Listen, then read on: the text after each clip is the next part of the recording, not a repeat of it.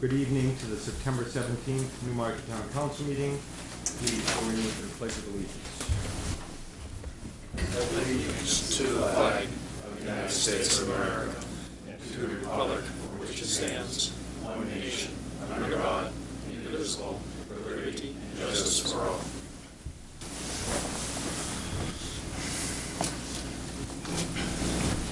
I would like to introduce our new recording secretary, Patricia Denmark. Nice to have you here. And at this point, is there anyone from the public that would like to speak? Mr. Porteratus, please come up. I Suppose now you don't have to announce your name. Ed Porterata, 177 Exeter Road, Newmarket, New Hampshire.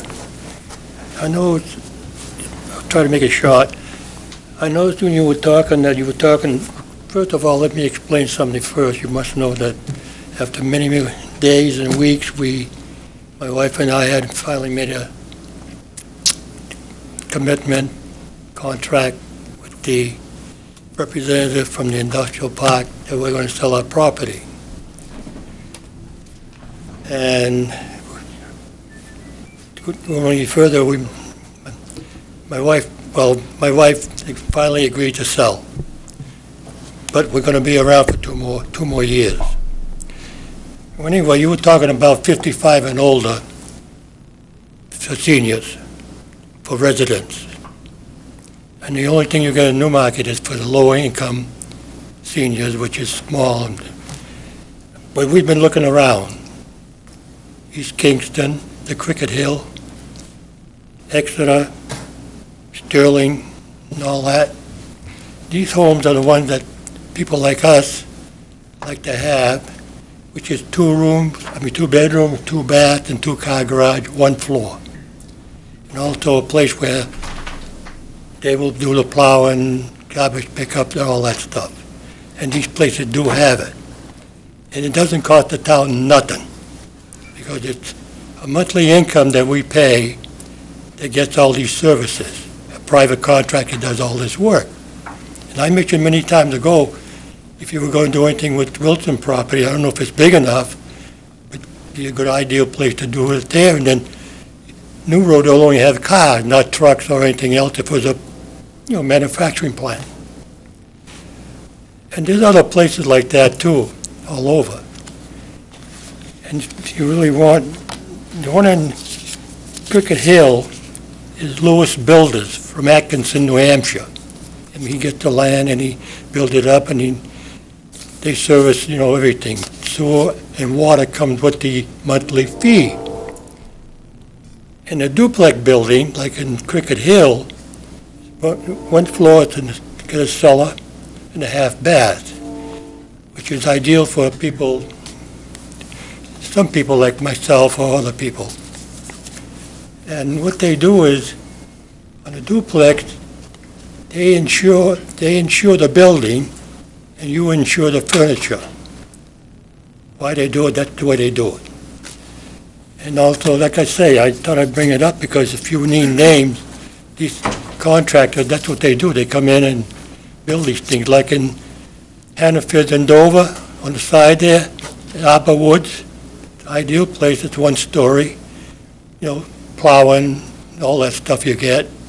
But they have a wonderful recreation building with a saltwater pool. I don't know why, but it's an ideal place. And it's a monthly fee, and usually the taxes run around five or six thousand dollars, depend.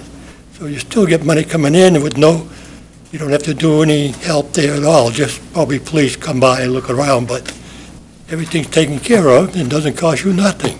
And you're getting money in, plus you have some people, I know there's four people in the market went to Cricket Hill. I just thought if you wanted some names and all that, I could give it to you. You could, you know what I would do, Ed? I would forward it to the town administrator. And um, we're going to have someone look into it. And if, if you, um, if you want to just leave it here, it might be easier because he's not here tonight and I can give it to Matt and he can Or forward it. to whatever. I mean, I did it, I know you talked about it. And with the, one they're building by the golf course is not good for us, because there's about three stories there. and I mean, I can walk all right, but my wife has, you know, can't buy that, so we'd like to probably stay here, but other question. And the only other question I'm going to ask, have you read some articles in the paper about what some people went to Somersworth, Rochester, and Dover and asked them if they would do certain things, except refugees? I don't know if any of you read it? In the Fosters.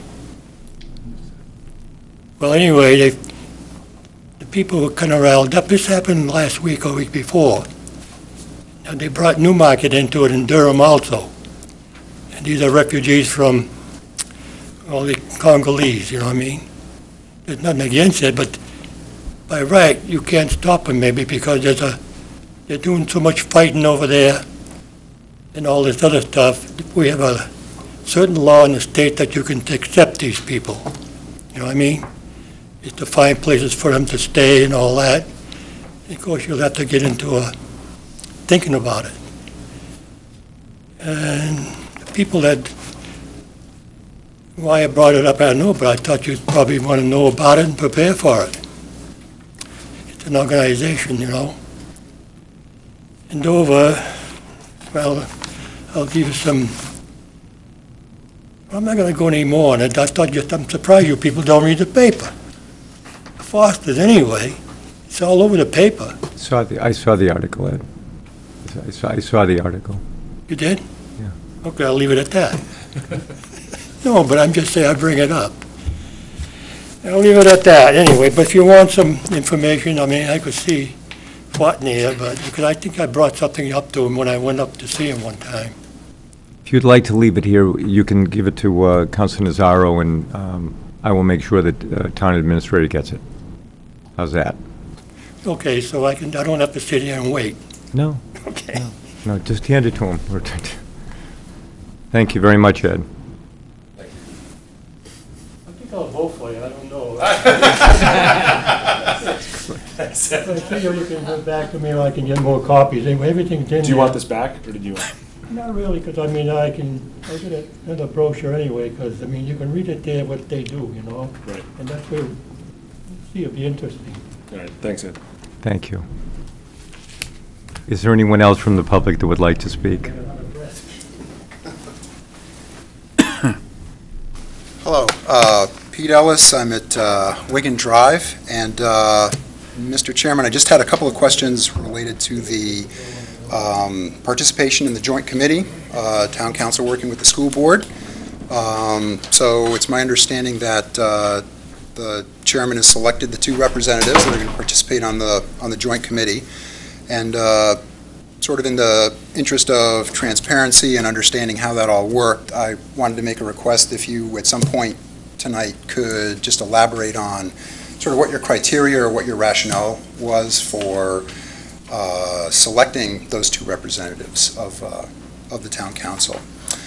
Uh, The second thing I wanted to touch on was that it was, it was perhaps a little too evident at the last school board meeting that there was a measure of frustration, perhaps confusion, um, on town council's part as, uh, in terms of how the joint committee was going to be selected, uh, that sort of thing. And I was, would like to request that at some point, um, perhaps Chairman Levy, you could talk about whether or not you've had any further dialogue with the, with the school board since then to maybe resolve some of these things. And also, um, I think the whole town would be interested to sort of get the town council's take on what you think the roles and responsibilities are of the joint committee in this overall process and in working with the, uh, in working with the experts, the consultants that we've hired in.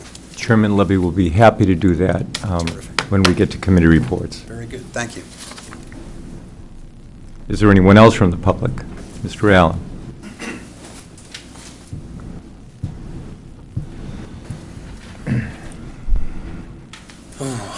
A moody Point. Um, My issue is the school. Um, I watched the meeting of the 4th, Mr. Levy and other people that stood up. And um, the school has this key notion that it wants to push no matter what. They'd rather lay off teachers and spend it for consultants to push a new school through. They won't adopt the Hudson version to extend out classrooms that they did for 20 years. And last go-around, um, I'm still suffering from the threats that I took, okay, on a daily basis. Not getting into them, it's too political around me. Um, I don't want to name names because it's unfair.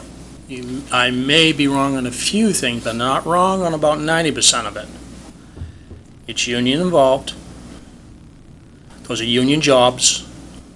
They want to stick it to Newmarket for their work. It's a corporation.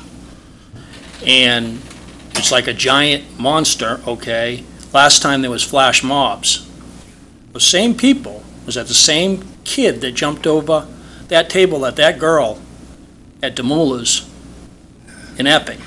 So you wonder why I'm a little about it.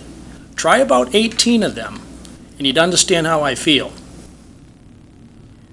People are too, is too connected, too interconnected, but, I mean, my wife and me are down to yays and nos, and I can tell it's being standed over, and I know where it came from. Other people that are better than all of us, that have the access, can tell exactly where it's coming from, and it's traveled over there because of social media. I can't, know- I can only put together so much. Particular people are so untrusting that they would not allow representatives from the United States because that particular country has broken, uh, broken away, was taken over by a coup. But they allowed me into the Third Armored Division out of Ryette, right through the front gate, right to the middle. I had uh, dinner for a whole day with family members and what have you, Royal Thai armories and talking to them, and they understand the situation. They understand where it came from, too. You can't, you know, can't have social media and things turn into flash mobs. You got, you guys set the rules and said, this is how it will be. And then we had flash mobs extended from this, from this town hall to the school. With kids involved, under 18 years of age. Um, How are we gonna get to a point where this doesn't happen again, where their, their consultants are saying, oh, it takes up to six times to get a warrant article through? Maybe it was the wrong thing to pull a federal uh, lawsuit against the uh, school. Maybe that was the wrong thing to do. They, they're not healing. I don't know what to do, and I'm affected. I do not want to make a mistake and say, okay, yay, this person's responsible, but we know where it come from. And it's not 44 levels deep, guys. It's infinity. I do not know where these levels of um, people that can talk, you're wrong on freedom of information. So, um, I need some help. I need straightened, straightened out, and I'm, I'll go through what happened last time. I mean, you know, it's, it shouldn't travel from here clear across the world. It just shouldn't happen. And it shouldn't be targeted to my wife, and it shouldn't be targeted to my son. Of all things. How dare you? I need some help, okay? Thank you, Mr. Allen.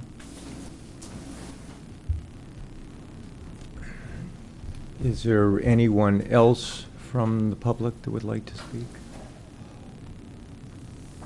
Seeing none, I will close public comment at 7:16. We also have a public hearing tonight to amend Town Charter 5.4, use of the official ballot. Is there anyone here that wants to speak to that? Come on up, Leo. My name is Leo Fillion, 3 Lafayette Avenue Market. I served 25 years on the Budget Committee, and nine years on the Capital Improvement Program. And I'm really concerned about this appropriation, or this change in the charter. I also served on the previous two charter commissions. The, going through the minutes of last town council meeting, I read this comments from the town administrator. Uh, Town administrator says that currently, if the budget was short, they did not have to contribute capital reserves funds as they were in the operating budget. If the contributions were removed from the budget and voted separately, they would have automatically been made to each fund. Currently, the council acts as agent for all existing capital reserve funds and can spend up to the limits. This is not what has been happening for the last 30 years, 20, 30 years. Every year, when the town meeting approved money to the capital reserve fund, it became under RSA Chapter 35, which required the money to be put into the capital reserve fund during that fiscal year. Now, he's saying if we approve this, we don't have to put that money in capital reserve funds, even though the town meeting has approved it. They sort of saying that if town meeting approves five hundred thousand from capital reserve funds, the council can spend it, fire department, police department, or whatever it wants to. As And if, if as there's if it's any- fungible, is what you're trying, Pardon? as if it's fungible. As if it's fungible, is that what you're saying? I- is- It it can be used, Now, i- if the CIP committee comes up with recommendations to the town administrator and town council and to the budget committee to put in five hundred thousand dollars capital reserve funds, it goes before the voters at town meeting, and then in the past, whatever the town meeting approved went into the various capital reserve funds.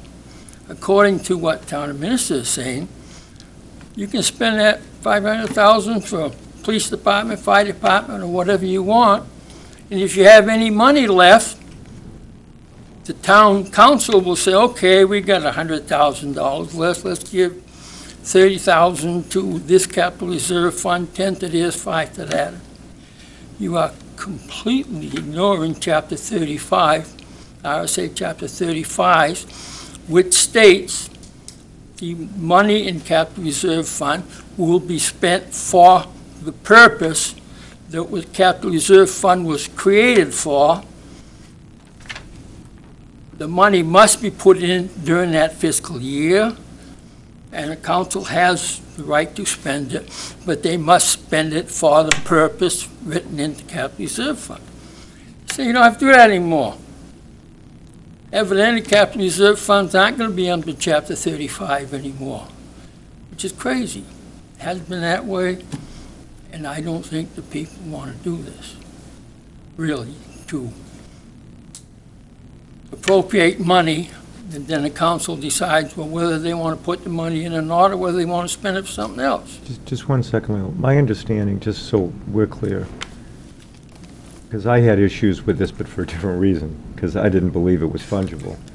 Um, My understanding of, of what we were doing was basically um, doing what we've done in the past, which DRA or DRA, uh, uh, well, DRA or whomever, said it was no longer appropriate to do so. And, and so in theory, just to address this issue, and we're going to ultimately discuss it as a council, but if we pass this, is it your understanding that it's going to be the way it's always been in the past, which is if a CIP fund gets X amount of dollars, that money is earmarked for that fund and only that fund? Exactly. We, if we were to raise money for a particular capital reserve fund, it can only go into that capital reserve fund, and it can only be spent on the item that town meeting authorized that capital reserve fund for. Right, and that's the way it's been in the past.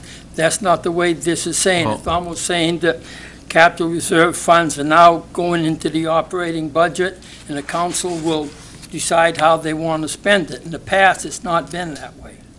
I think what the, the town administrator was trying to um, say is that if we're going to put aside, like, say, $100,000 for a fire truck, but the tax rate can't afford the $100,000, he'll knock it down to, like, say, $10,000. Can't- That will go into that capital reserve fund. I- According to Chapter 35, the RSA Chapter 35, if the town meeting votes to put $100,000 into the capital reserve fund, it goes into the capital And- reserve fund, and- period. Yeah, but the, the town administrator has the ability to change what his recommendation is before it goes to the town council. Oh. Town council can change their recommendation before it goes to the budget committee. Budget committee can change their recommendation, then it goes to the town meeting. Once it goes to town meeting, it's set. It cannot be moved, it cannot be Town- changed. What the town meeting votes. What the town becomes- meeting votes is, is like That's not the way I solid read as this stone. Here. Okay. And- And that's the way it's been in the past. That's not what you read in the minutes, or that's not what you read in the, mo- in the That's not the way resolution? that it seems to be the interpreted minutes. by the town administrator. Okay. He's saying if running runs short, well, we don't have to put the money into the capital reserve funds. That, I don't think that was. to me, is not to fly, basically. Counselor Pike? Yeah, I guess this is along that line, because I've, you know, I was reading through the budget, so, I- you know, we- fortunately, we have the attorney, because we can, I think we can get this addressed tonight, Leo, but, you know, I, isn't it it also true that in the end, when you, when a submit, when a budget is submitted through the process and approved by the voters, mm-hmm. the, the administrator is not confined to the budget headings. Now, maybe he's confined when it comes to the CIP, okay, that's, that's what I was trying to understand. Th- There is, he has, the council has the ability to move money around in the budget. And he was, basically, he's saying that I can use this capital reserve money for my operating budget. I, I And- think, I think it might have been interpreted that way. I don't think that's what he was talking about actually um. Well, I, doing. I I, I could be wrong. but- hope to, because the change that is proposed in this, uh, public hearing is to, uh, operating budget as used, it's defined RSA 23-3 exclusive warrant articles. It stays the same, but E, the operating budget may include appropriation and anticipated revenues funds established under RSA 23-3. And that is just opposite to what the municipal budget law states. RSA 23-3C calls for appropriations for and from a separate fund created pursuant to statute, including but not limited to capital reserve funds under RSA 35. Seems to me that they want to take the capital reserve funds under, away from RSA 35. And, and that's what this public hearing says it wants to do, and I, and if they take it away from RSA 35, RSA 35 basically says, no, the purpose of the capital sum has to be stated in the warrant article, it has to be used for that purpose, the money has to be put into the trustees of the trust fund by July, June 30th. The- The only way to change the purpose of the capital reserve fund is by the town meeting, by two-thirds vote of the town meeting to change the purpose of the capital reserve fund. That's what they seem to be trying to get away from by this amendment, E, of the operating budget as is shown in the public hearing here. And I do not support that. I think we ought to keep the capital reserve funds under Chapter 35, which they've been for the last 40 years, and I think they should stay that way. I, there's a lot of comments here on how difficult it would be to have I'd, I'd like to see it tried for one year. I'd like to see the voters look at all the capital reserve funds for one year, it wouldn't kill them. And I think the, uh, no, it would be a good discussion I on said that at the last meeting. I said I think it would, it would be a little bit, my, my thought was it was actually a, a bit more democratic in that people would actually be able to vote as to whether they wanted it or not. I think the concern was we were going to have 15 articles in conjunction with the ballot. I'm just telling you what the, A discussion kind of on a thing. Most of these things would take five or 10 seconds. There'd be no questions. Okay. A few may have questions. I mean, I recall when I was on a CIP committee, we changed one year the appropriation to the water department from 300 to $600,000 that one year. No questions, because it was all buried in something else. So, I mean, if you had it separately one year, wow, why are you going from 300 to $600,000 this year? I mean, I, I don't know, I do not support this uh, change in the charter, basically. I think that would be very helpful if we did it the way the DRA thing is for one year, and at the same time, at the meeting, put in the warrant article to change what you're proposing to change, and, and see if the people want it. But I think it would not hurt the people to follow the recommendations of DRA for one year. May take 20 minutes more, 30 minutes more at the town meeting. I think it could be well worth it. thank you, Leo. Is there anyone else that wants to speak to that? I think we can have this discussion with uh, council is here for that, so we can have that discussion, I'm assuming. Well, I think we should wait until we get, I mean, are you going to, if someone wants to move it up in the agenda, we can, we can do that, so council doesn't, is that the only thing, Sean, you're, you're really here to deal with, or are there a couple? If you have questions about, any, if there are any questions about the uh, cable franchise uh, issue that's coming up later on the agenda, I can answer those too. Well, someone wants to, d- you know, I'd rather just stick to the agenda and just move it along. I think we'll be fine. I don't think we're going to, you know, the longest part will probably be the committee report. So, okay. Seeing no more public hearing, we'll close public hearing on the amendment of the Town Charter 5.4 at about 29 past 7. Next on the agenda, can I have a motion to accept the minutes of September 3rd, please? So moved. Do I have a second? Thank you. Um, Any questions or changes? Seeing none, please, any, please call the roll. Counselor Wright. Aye. Counselor Carmichael. Abstain, absent. Counselor Nazaro. Aye. Counselor Bentley is not here. Counselor Weinstein. Aye. Counselor Pike. Aye. Counselor Levy. Aye. Resolution passes. Yeah, I was holding off with Counselor Bentley. I didn't know if he was going to show up, so I'll, I'll just put on the record he's not here for now. Okay. And he, would- he did not notify, um, you know, I don't believe anyone that he wasn't coming, so he might have run into something. Do I have a motion to approve the non-public meeting of September 3rd, 2014? So moved. Second. Any concerns, questions? Seeing none, please call the roll. Counselor Wright. Aye. Counselor Carmichael. Abstain, absent. Counselor Nazaro. Aye. Uh, Counselor Weinstein. Aye. Counselor Pike. Aye. Counselor Levy. Aye. Uh, passes one, two, three, four, five, five, zero, and one abstention. You're doing our math, right? Yeah. For the budget. If you can't do that, we're in a lot of trouble. I know. Sorry. Probably in trouble anyway. Um, Next on the agenda, uh, report of the town administrator. Take it away, Matt. All right. I'm just going to read the uh, town administrator's. Town uh, administrator, acting chief seer, who's hunting back to Matt Angel. Okay.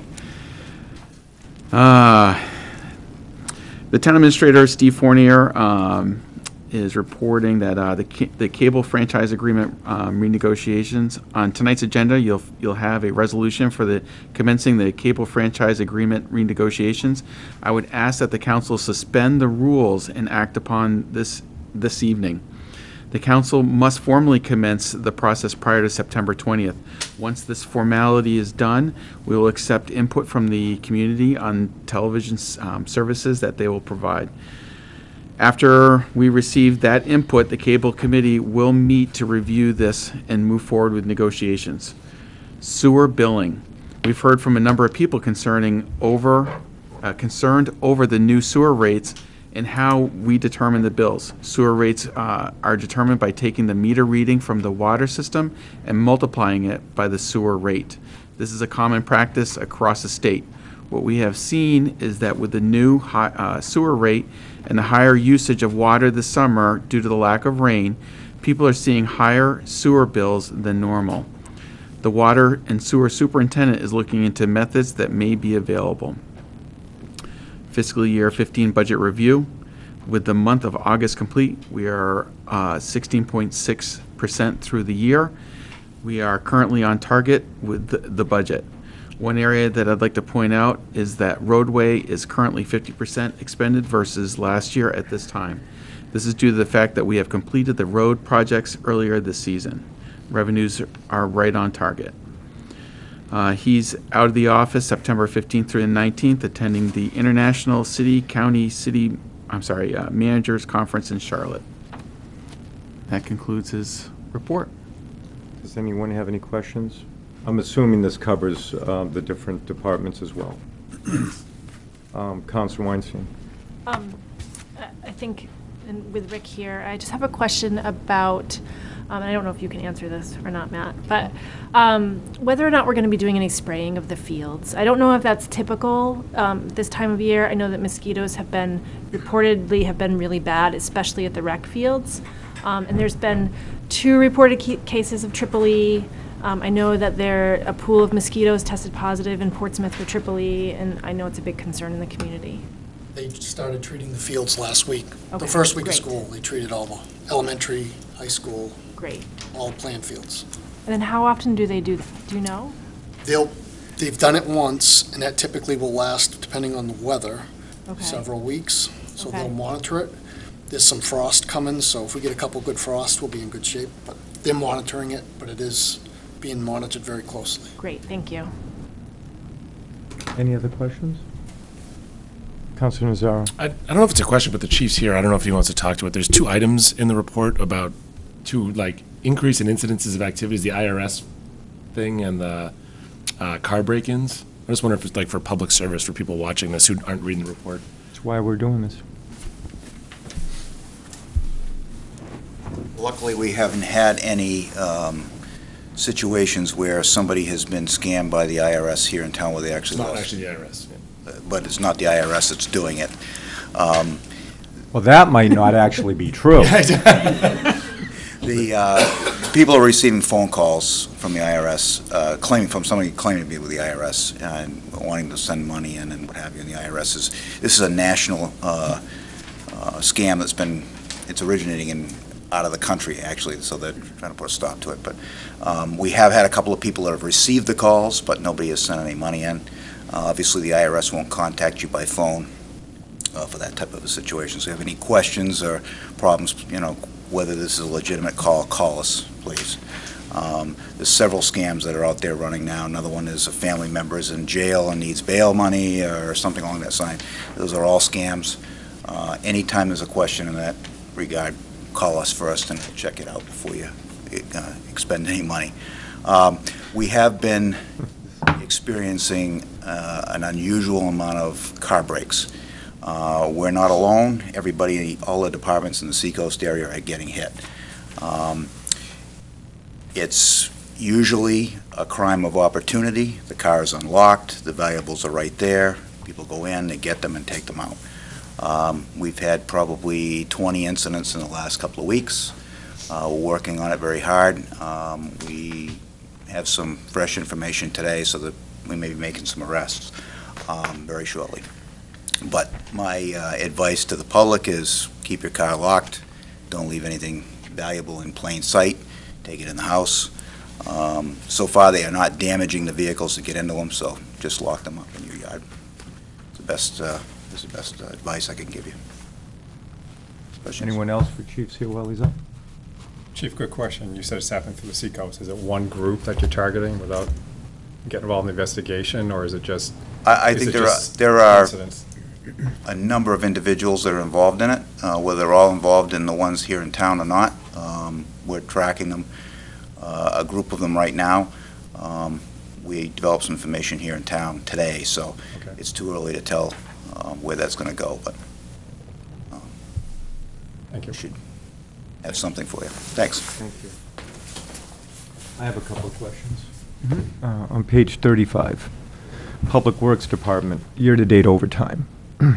Um, It, it appeared, and I may have misread it, but I don't think so.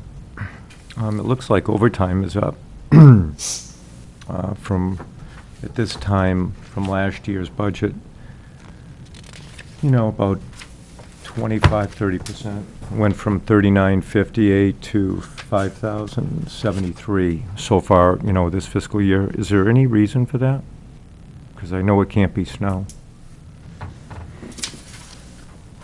Just figured I'd ask. The only overtime this time of year is when we're working on the projects with the contractors. And there has been a few uh, incidents where there's been some call-ins, but it's not concerning to me at this point. We did do a lot of work this summer, and that's all done at this point, so you won't see anything before snow's flying, unless there's an- a weather event. All right, well, before you run away, um, on page 36, equipment maintenance um, was up from 34 to 85. And this is year-to-date, so it's commensurate to the same time last year. Yep. And um, vehicle maintenance went from 4 to 10 grand, actually almost 11. And the budget is the same, meaning for the, for the vehicle maintenance? Yep. The budget last year was 48, and this year is 48, or 15 and 14. So it's better than double in both categories. Do you, do you know why? Off the top of my head, I do not know the reasons, other than we've had, we have an older fleet, Okay. keeping stuff longer, but uh, there was nothing earth-shattering other than some work done on the roll-off truck. That was the one big ticket item. They had to replace the clutch. The truck was down for a month. I believe that was a $6,000 repair. Well, that would, that would make up the difference So, there. If that's in that, That would be vehicle, I'm Vehicle. assuming, correct?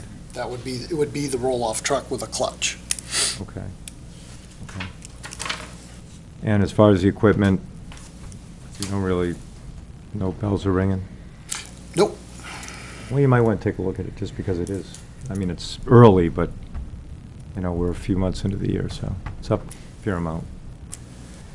And that was it for me for Public Works. Um, And then the last, it's this little thing. Um, uh, Well, I'll just wait until, that- it was about the CIP, I'll just wait until we get to that discussion, because it's about the language, so we'll leave it at that. And uh, Counsel Carmichael? do you- Yeah. do you have a Uh, Rick? Rick, just a quick question. Just getting back to the overtime, and you said the overtime's up because of construction. When we work with the the paving contractors, curbing contractors and so forth, Okay. they don't work an eight-hour day. Okay, so it's, it's not like a police detail where the contractor pays for, like, if the chief has people out there working on the road detail, they pay for it. Yep. The, the, you know, light company or whatever. Um, When we do the paving, or say the paving, we pay for our guys to be out there. We, we, we supply the flagging with our guys versus the police, but we also work with the contractors doing the project. We did some boxing of the roadway, we put fabric in, we did some ditching, we replaced some culverts. Those guys work from daylight to dark every night. Okay, I just You know- didn't know how it worked with the overtime. Yeah. So I, when we're, when, you know, they're here for a few weeks. Okay. Can't send them home at three, you know what I mean? No, I I understand. It's got just, But it's, it's something that we do every year. It's not, I know it's a little bit off from last year, but we did a, he gave me a little bit extra more money this year, so we did a little more work. Good, thank you. Seeing no other questions? Committee reports? Would anyone like to update any committee reports before I discuss committee reports? We have a planning board meeting? Yep, we had a planning board meeting, that was the night of the election. So I was down counting ballots, I wasn't there for a majority of it. But What did come up was the uh, Lot 6 Shearwater Investment Corp., continuation on that. Hayden Family Rockwell Trust, that's the uh, Bald Hill, 74 Bald Hill Road. There's some uh, open space design uh, zoning ordinances, and also right now, uh, there's an open space design development by Waterway Realty LLC, and that is 310 Wally Falls Road. And I'm I'm not, uh, I'd have to go back to my prints to see exactly how many, uh, I believe it's a 20-acre lot, and half of it will be open space. Uh, 13 Water Street came before us, um, some follow-up actions on inspection report from Manual Engineering and also Rockingham Golf Course came before us uh, seeking uh, two waivers. And one was the, uh, two for impact fees, one was for recreation, and the other was for the uh, sewer, water sewer. Actually, for the water supply and treatment. And the, uh, the recreation, uh, there was no waiver given for the recreation. That was $14,352. But there was a waiver granted of thirty-eight thousand three hundred and twenty-four by the water, for water supply and treatment. Read that one last thing again. It was a water. Water, this is the impact fee, a waiver. Yeah, waiver for how much? Yep, there's thirty-eight thousand three hundred and twenty-four. What was the rationale, just out of curiosity? The rationale was, uh, originally, I believe it was a uh, eight-inch line, and it's supposed to be a straight feed, but uh, he went and increased it to, uh, I believe it was 10 inches, and with loop system, which actually gives more uh, fire pressure, the, uh, the- that entire area down there. So, It's a close vote. was, was it justified in? I thought it was justified, you know. Okay. Any other committee? Anybody else Me. The Conservation Commission met on um, September 11th, and um, I was unable to attend. That was back-to-school night for both of my kids, two different schools. Um, But I did watch a good portion of the meeting, and um, the majority of the meeting was taken up by um, the Nature Conservancy, and they're applying for a grant to replace a culvert, um, to do an engineering study, and I guess ultimately replace the culvert um, at Lubberland Creek Bay Road, um, so right there by the Conservancy. Um, A lot of that has to do with expected changes in sea level and um, stuff that's well above my pay grade. So, um, so there was that, and, and like I said, that was the majority of the meeting. Um, and then they, um, continued to talk about the use of metal detectors on public land and decided, um, against making a recommendation, um, to the town council, so. Those were the big, the hot issues. Well, What, Okay. CIP? yeah. Uh, so CIP had its organizational meeting last week, and tomorrow from one till I think approximately five, we'll be hearing, and it'll be televised, uh, all of the uh, departments coming in with their recommendations for CIP. So encourage people to watch. From one to five, you said? Yeah. I just mentioned that the Budget Committee had a uh, meeting with Attorney Radigan, uh, where, which was education provided by Attorney Radigan on the uh, budget process, and members of other departments and other committees were invited. Very good. Just educational. His memory serves me, so September 11th was the school board meeting where I saw you. Uh, That was my birthday, by the way, so that's why I remember that. But that being said, is that all committee reports? Yep. Um, So in no particular order, um, I guess it's out there that um, I've chosen uh, Councilor Wright to participate. Um, The reason, uh, I have no idea why um, the school superintendent uh, decided to put that on the website, because I hadn't really announced it.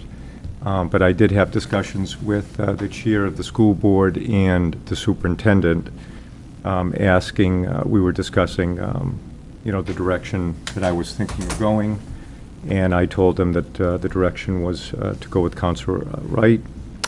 And um, I, uh, for whatever it's worth, uh, had no idea that anybody was going to post it. I suppose from the concept of transparency, I guess you can't get much more transparent than putting a name up before I I name them. But um, that was certainly not my intention, and the superintendent did apologize for having done that. Um, It was not my intention, and didn't think uh, that was going to happen. Um, I chose Council Wright because I think he has a good background in construction. Uh, He's put up a building or so, and um, I think he's pretty balanced, and I think at least one of my goals for this uh, committee, um, and I've said it, you know, from day one, is I was hoping to um, not have, um, for lack of a better word, uh, uh, acrimony or lightning rods as best that we could help. Um, And uh, at the end of the day, I think uh, we have some good candidates on the council, and I thought uh, Council Wright would make the, uh, the best choice. So that is how I arrived at uh, that choice. Um, With respect to the last school board meeting, um, um, and I will just address a couple of things that were emailed to me from, um, I think from Councilor Weinstein had some concerns, um, and I'm just quoting, because I'm writing down what was sent to me. I'm assuming this was attributed to your uh, site or your blog. I'm hoping that the town school board will make a determination to create a real joint committee. That was my statement that night. I'm curious to see if this meets his definition of a real joint committee. My answer to that would be no. That is why I said that that night. Um, It was my hope that um, each board would um, follow its own rules and name its own members, but the uh, school board made a determination to go in a different direction. And um, I will comply with their um, wishes and hope that they ratify uh, the members.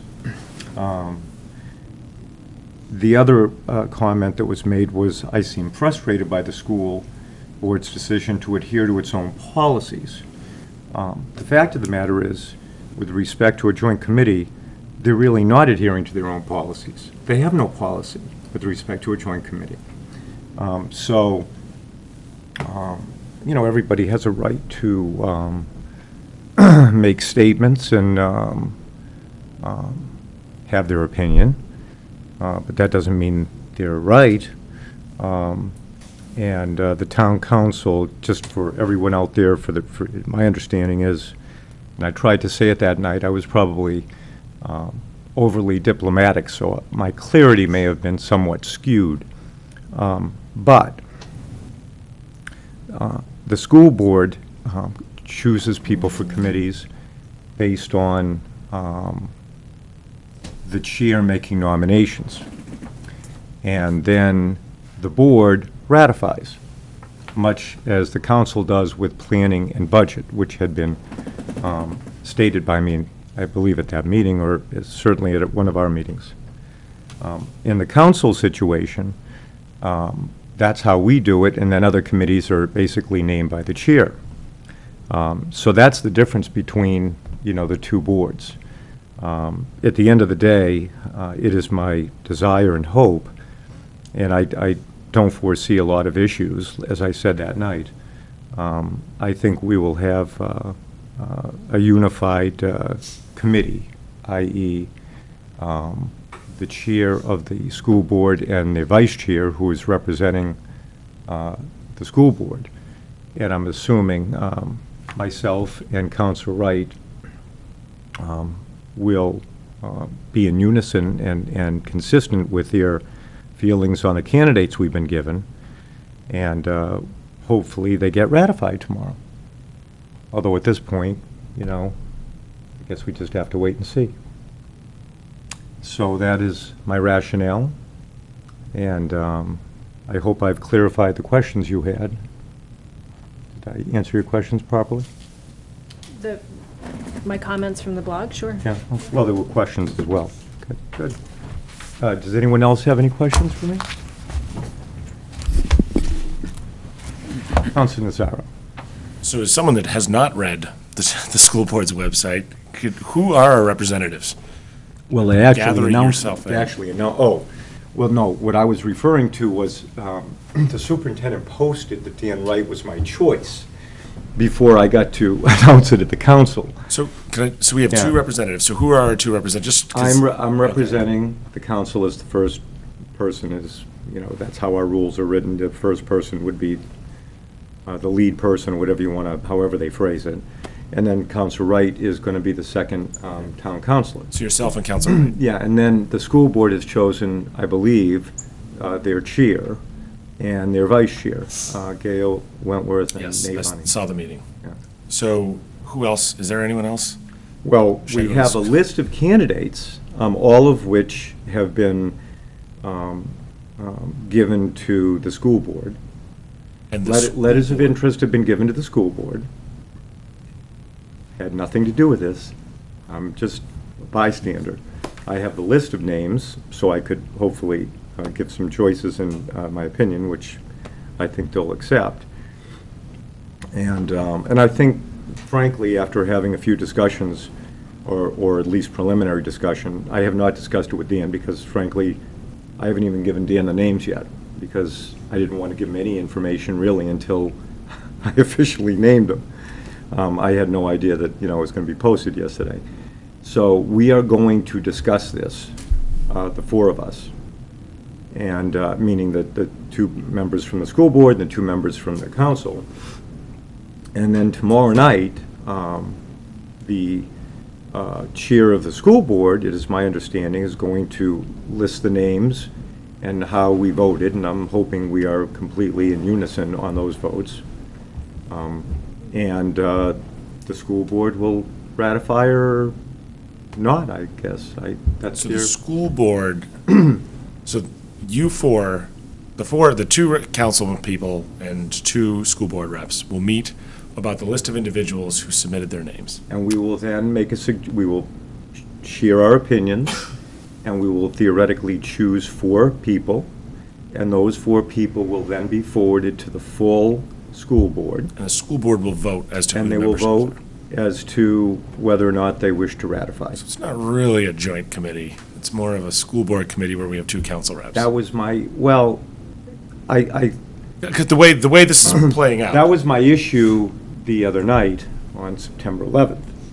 Um, Because my understanding prior to that meeting, and the reason I didn't name anybody at our last council meeting, was because I thought after having reflected and the feedback I had received from the school board, um, that they were going to actually allow the council, the council to do what we talked about at our last meeting, which was I would throw some names out there for the council to discuss, even though technically I could name them, whether the verbiage was clear or not to certain people. Steve, I think, had an opinion that ultimately would be the chair's decision, but as I said, I would, I would have wanted a consensus from the council, um, and that's why I didn't name anybody at that meeting, because I didn't want to name one person and then come back tonight and name another person, so I wanted to just take care of it in one night. And then the school board sort of did a, they changed their mind from one day to the next, so. So that I'm, is I'm not going to critique what the school board did. I just want to know what the process is at this No, point. Well, I'm just, I just gave it to you. Yeah. I think So- it's pretty clear. So we will not get to see the list. The full council will not see who put their names in.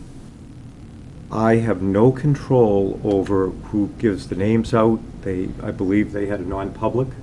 If you have any questions, I would refer them to the superintendent. Thank you.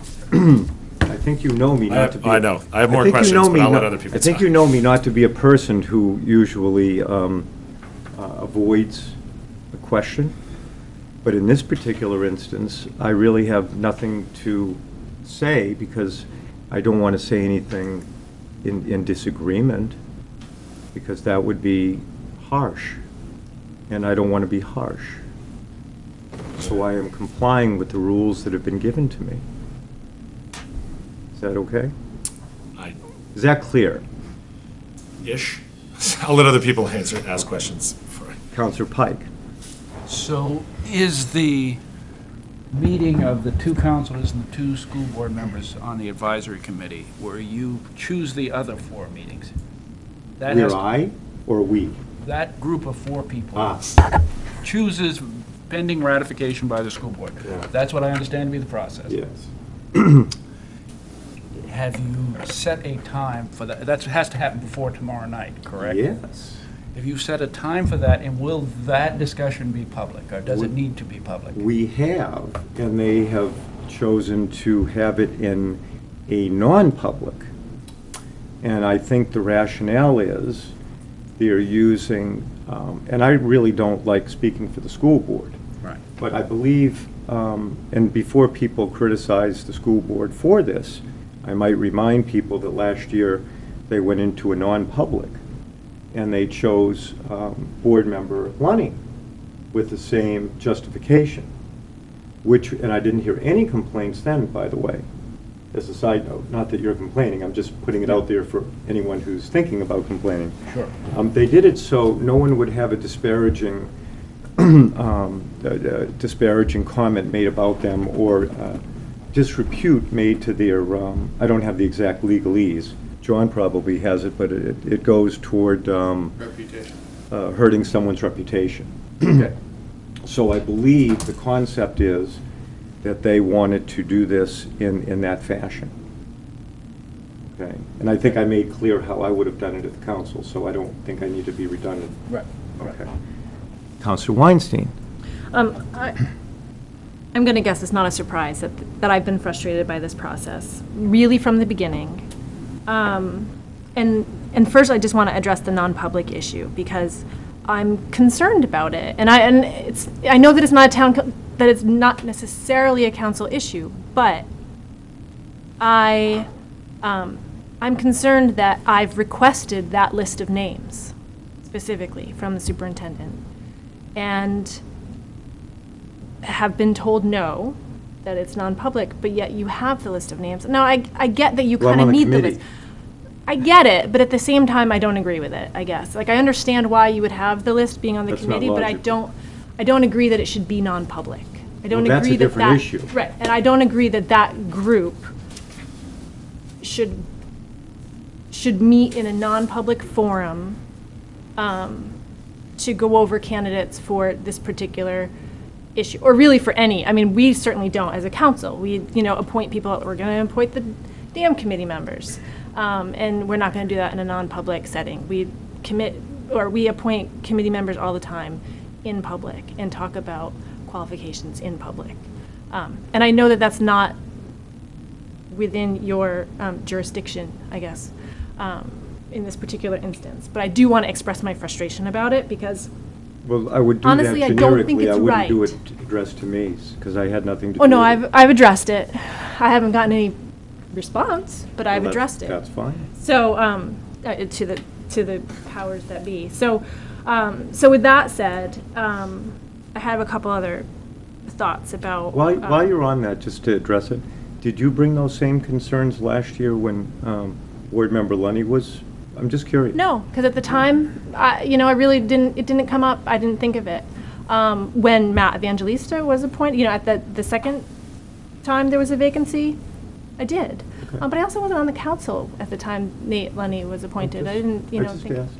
Yeah, um, but I think circumstances change. So, um, and in this instance, circumstances have changed. And I've repeatedly asked of the school board that they do, that they take this process to the public, because I think that it's important that it unfolds in the eyes of the community um, and not behind closed doors. And I think from the beginning, this has happened in sort of a cloudy, you know, um, it hasn't happened in the community. It hasn't happened in front of the town council. It hasn't happened really in front of the school board, although probably more so in front of the school board. Um, I'm clearly, I expressed my concern to you about the fact that it was posted on the school website that Dan was named as the councilor and, and yourself. The fact that you didn't want it to be up there doesn't change the fact that the school board knew before we did. And that's my issue. I think that it should have come to the council before it was announced to the school board? I, I don't disagree with you, other Or than the fact. Or the superintendent? Now, so to answer you, because you have to, you have to take each step as it comes, there's a list of names that have been given, and, and I didn't have anything to do with any of the, you know, it's interesting, when I have concerns, um, people seem to be concerned that I am not um, soothing, and, uh, and I criticize the school board. When you have concerns with the school board, not that I wish for you to be criticized, um, I don't hear anybody say, geez, Tony had criticisms toward the school board. Now, I had, I had major. You should read my email. I had some very, very deep concerns about the, the process, um, and, and was basically ignored. Um, And frankly, because I don't usually go out on a limb and say, you know, something's going to happen without feeling pretty good about it, I felt prior to our last meeting, or I would have just done what I did tonight with Dan, then, um, that it would be, you know, that that I had the word of someone on the school board that they had no problem with me choosing, and then they changed their mind. So, you know, at, at some point, you just, you know, my feeling is, at the end of the day, I think the four of us, despite, you know, the, the rocky um, road that this has taken, I think the four people, well, I'll tell you my intention, I can only speak for myself. My intention is to have people, as I've said over and over again, that, you know, we're not hard pro or hard um, no. People that will hopefully be objective and don't bring um, a lot of, um, for lack of a better word, uh, I don't like using the term baggage, but uh, uh, I I said, I think to the council, I didn't want to choose any lightning rods. And um, um, I, I I purposefully did not take a position last year, despite the fact that um, someone requested of me to do that during the candidate night. And I was very uh, forthright in saying, thank you, but no thank you, I am not taking a position because it really wasn't my place. Um, The wheels were in motion and the school had made their decision.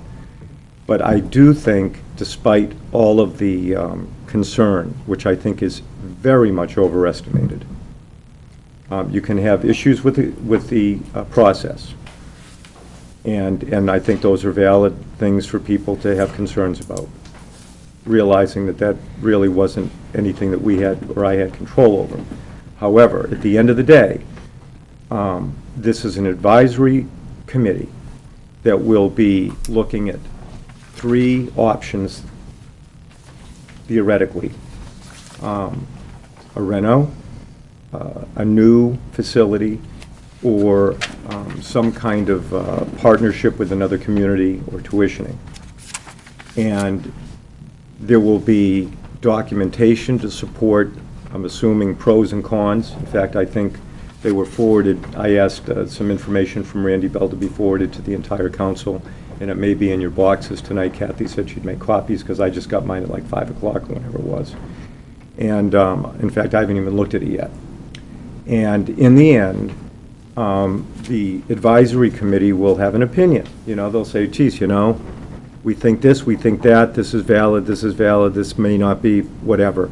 And then it goes back to the school board, and it is a school board issue. So why everyone is so um, um, concerned and uh, um, uh, upset about the fact that, oh, this committee may have certain people on it or not have certain people on it.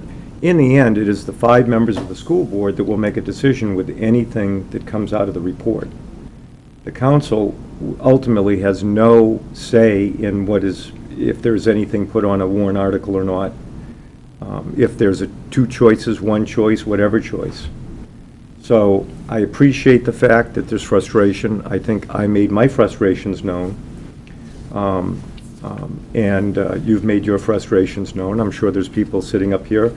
I'm sure there's a lot of people in the community that have some frustrations. So I think the appropriate uh, entity to um, bring that to is the entity that has controlled this. And they will take your input and decide to either adjust or not. There's nothing we can do now. Um, And there is, and we are planning to meet tomorrow and hopefully um, settle on four names, which I think we'll be able to do, and uh, pass it on to the school board. And that's the only thing I can tell you.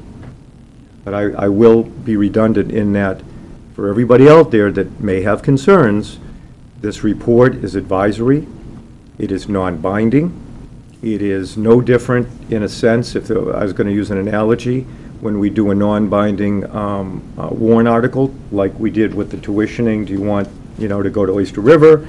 84% of the community said yes, and I think we know what happened with that. So at the end of the day, it is the school board that will ultimately make a decision as to what they want to do with the report.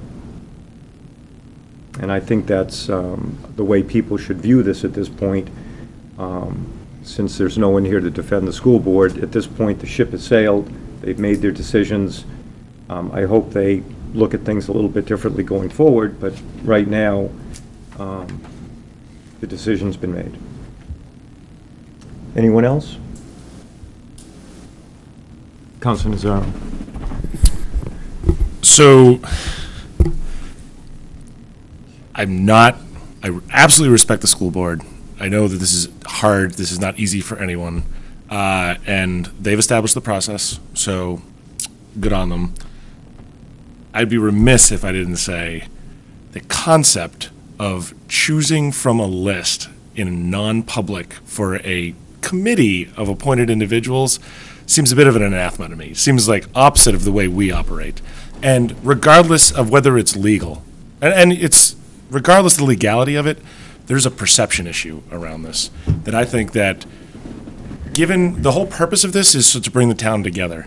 And I'm I'm not I recognize that this is not your decision. Preaching to the I- choir. absolutely. So I'm just saying to the public. So why don't you come to a school board meeting? come to a school board meeting? But I do Come want to to a get this school off my board chest meeting right and and now. articulate your feelings. The, so, well, I'll articulate right now to my two representatives that are representing the, the council on the school board and the joint committee right now. that's what seems to Because I- What I here. can't come to is the joint committee meeting tomorrow, because it's going to be non-public.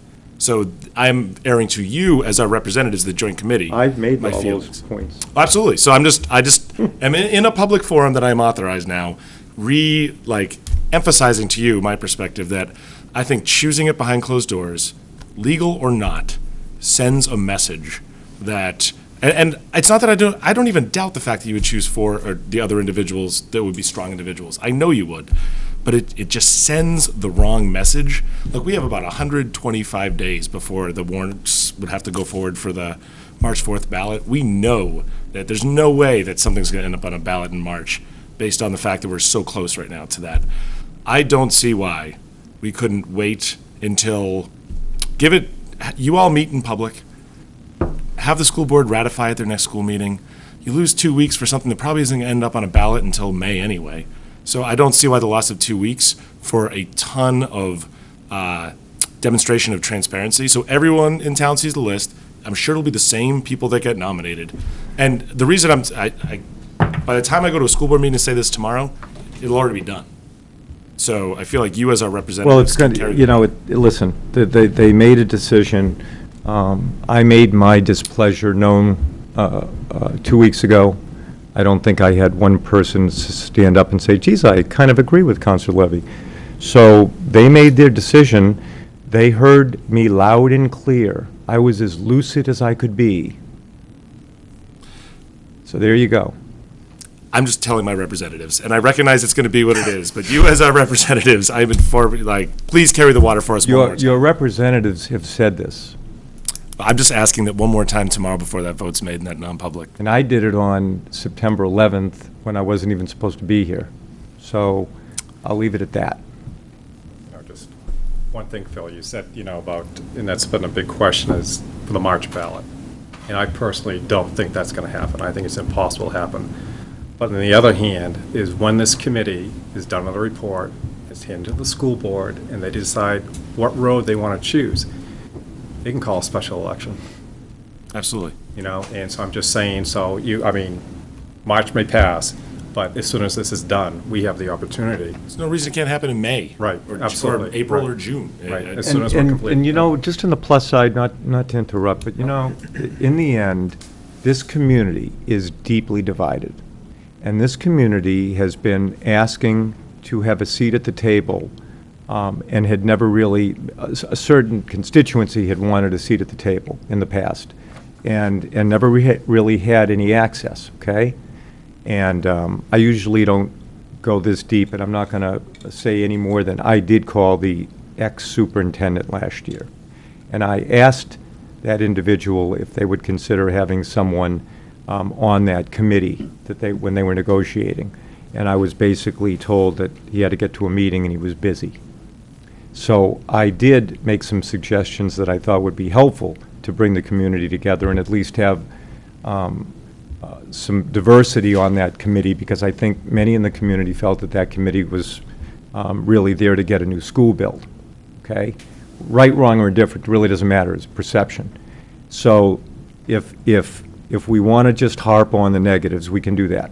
What I would say is, um, I have found Randy Bell, and I think most people that have heard him, um, is one of the more uh, thoughtful, ethical people I've run into um, in a long time. And I think he will do a very thorough job. And I think i- despite all this fear and concern over the power that certain people may or may not have, um, Hell, I couldn't even get a 30 cent uh, decrease on the taxes last year with a two- two- $2.2 million surplus, so I guess my power is a lot, is pretty exaggerated. But that being said, this community will have a report that they can look at, they can feel was brokered by experts in the field. If they take exception to anything, they will have something that they can actually ask the questions to. They can come to meetings that will be completely in public and transparent. And despite all of the issues surrounding who's going to be on the committee and the choice, the community will have a document that it's never had before. Okay, and I haven't heard one person who was really very strong for the, the building last year. I haven't heard anybody get up and say, oh my God, we, we could have built a school perhaps that was oversized by 50,000 square feet, or that was overpriced by maybe 30%, based on the superintendent's comments, not mine. I haven't heard anybody say that, okay? So, it didn't happen. We are where we are. We're going to move forward. And, and if I have anything to say, it will be done honestly, and I will broker it as, I can only do what I can do. I will work the numbers like I always do, and I'll be as honest as I can possibly be. Mean, if people don't want to believe that, there'll be, let's see, seven more members of the committee, so they can think there's a conspiracy of seven members. But I think the numbers, at the end of the day, will, the, the people of this town will have something they've never had in the past. So I would just, you know, we can accentuate the half-full till, till doomsday. The flip side of it is, hopefully, a decision to go forward and how we're gonna go forward will be done with more transparency this time and with more factual information. I, may I? I, I, I am not, there's a whole bunch of stuff there, but I'm really speaking very specifically to this selection. And I'm not a great politician, but I will say that you are, what will, not you, what will be created is a straw man that anyone that disagrees with the final recommendations and whatever the school board votes on will get pointed at that the whole, it'll, it'll become a conspiracy theory that doesn't have to exist. That's my point. I can't help you there. You're talking to the wrong guy. Why don't you show up tomorrow at seven? And, and the committee will already be decided upon. I'm asking you to say this, well, I know you've said it before, one more time before the vote to try to postpone it, to make it happen in public. That's all I'm asking. Anyone else? Councilor Pike? Well, I would, I would just add that, I don't know how many of the other councilors saw, but we did have a packet put in our mailbox this time, so. uh, And I would say that, you know, more or less I agree with everybody, because I agree that it should have been a in-public session. And I also agree, uh, Councilor Levy, that uh, I think, Oh, don't throw me a bone. I'm just going to tell it like it is. Jeez, don't do that. I think that the, in the end, the value of the, uh, of the consultants, the value of the advisory committee will be maintained. And- And, and I think the role of the advisory committee is very much like we discussed two weeks ago, according to this document, and I agree with that as well. And that's all I have to say. can we get done with this now? Yes. Great. I hope you all show up with the same fervor tomorrow night. Um, Next on the agenda, under old business, Resolution 141508, amending the town personnel policy prohibiting the use of a mobile communication device while driving. Um, Do I have a motion to accept? So moved. Do I have a second? Second. Um, I just noticed one thing, I just had one question, or if if there's no buttons. There's a lot of uh, stuff crossed out here, which I may have just missed the last time. Nothing's been changed from the first reading, is there? Not that I'm aware. I didn't re, I mean, if you look at the resolution, there's, there's paragraphs that are crossed out, and I, I just can't remember exactly if, if that's the way it was, but as long as you're basically saying nothing's changed, I think what they're really saying here, just for the public's knowledge, is, um, um, texting and whatnot, they're gonna have, uh, mobile devices or, or, uh, uh, Bluetooth or something of that nature installed in the vehicle, so people won't be texting and getting calls without, you know, looking at the road. Am I about right there, chief? Just a, yeah. Going to be illegal next July 1st. Yeah, well, I know that, I'm just saying about the town employees, I think they're taking it in- uh, to a little bit more of a step, just because they're gonna ensure everybody has to have Bluetooth, whereas a citizen wouldn't have to do that, so. I've already bought them already, the cars. Councilor uh, uh, Nazaro and then Weinstein. Uh, I was just going to answer your question I hit it before. It is the same as it was the Okay. last time, and it, I think it really just clarifies. It takes up out an unnecessary language, just makes it tighter. I just didn't remember all that stuff. Councilor Weinstein? Um, it says that it will apply to those vehicles in which it is determined that it is necessary to receive calls during business. I was just curious how many vehicles that is. Do we know? I don't know how many vehicles, I would, as- I don't want to speak for the acting know the two town. administrators, but I would think it would be DPW vehicles and police vehicles. And fire. And fire. Oh, and fire, vehicles. yeah. So, Well, water and sewage probably. I mean, at the end of the day, they got to have it. I Oh, mean, yeah, no, I I'm just I was just curious, yeah. Any other questions? Oh, uh, that was, any- do you want to call the roll, please? Councilor You, uh, Wright. Wait, hold on, Coun- Councilor Carmichael, you got a question? No. Call the roll. Councilor Wright? Aye. Councilor Carmichael? Aye. Councilor Nazaro? Aye. Councilor Weinstein? Aye. Councilor Pike? Aye. Councilor Levy? Aye. Passes uh, unanimously, um, Six zero. six zero. Not every day I get to help you with a math Oh. issue. Just trying to cut to the Probably chase. the only way I could do that. Uh, ne- Do I have a motion to accept uh, Resolution 1415 relating to the withdrawal of the 2140 from the Cemetery Capital Reserve Fund? So moved. Second. You better do it before it's fungible. Any questions? We need a little humor here, a little levity. No pun intended. Call the roll, Levity. please. Councilor Wright? Aye. Councilor Carmichael? Aye. Councilor Nazaro? Aye. Councilor Weinstein? Aye. Councilor Pike? Aye. Councilor Levy? Sure. Passes six zero. Do I have a motion to accept 1415-10 withdrawing an amount not to exceed 10000 to replace the carpeting in the Town Hall auditorium? It's on page 65 for the record.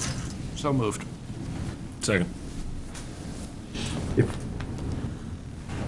I'm assuming to, to our new recording secretary, this is all pretty, yeah, she's, she's focused. You got all the names of all the seconds and everything? Everything's Well, I may not got it. close enough for Um, government work? I'm gonna, Okay. up Um, later. Because I could announce, the- I could announce the names if that would make it easier. Yeah. All right. It was, it was moved by Council Nazaro, seconded, I believe, by Councilor Pike, if if memory serves me. All right. Any questions about the uh, um, carpeting? Yeah, Councilor I got a Wright? quick question. Uh, If you want to go back, to you probably, well, if you go back to uh, the last meeting in the packet, we actually have the quotes.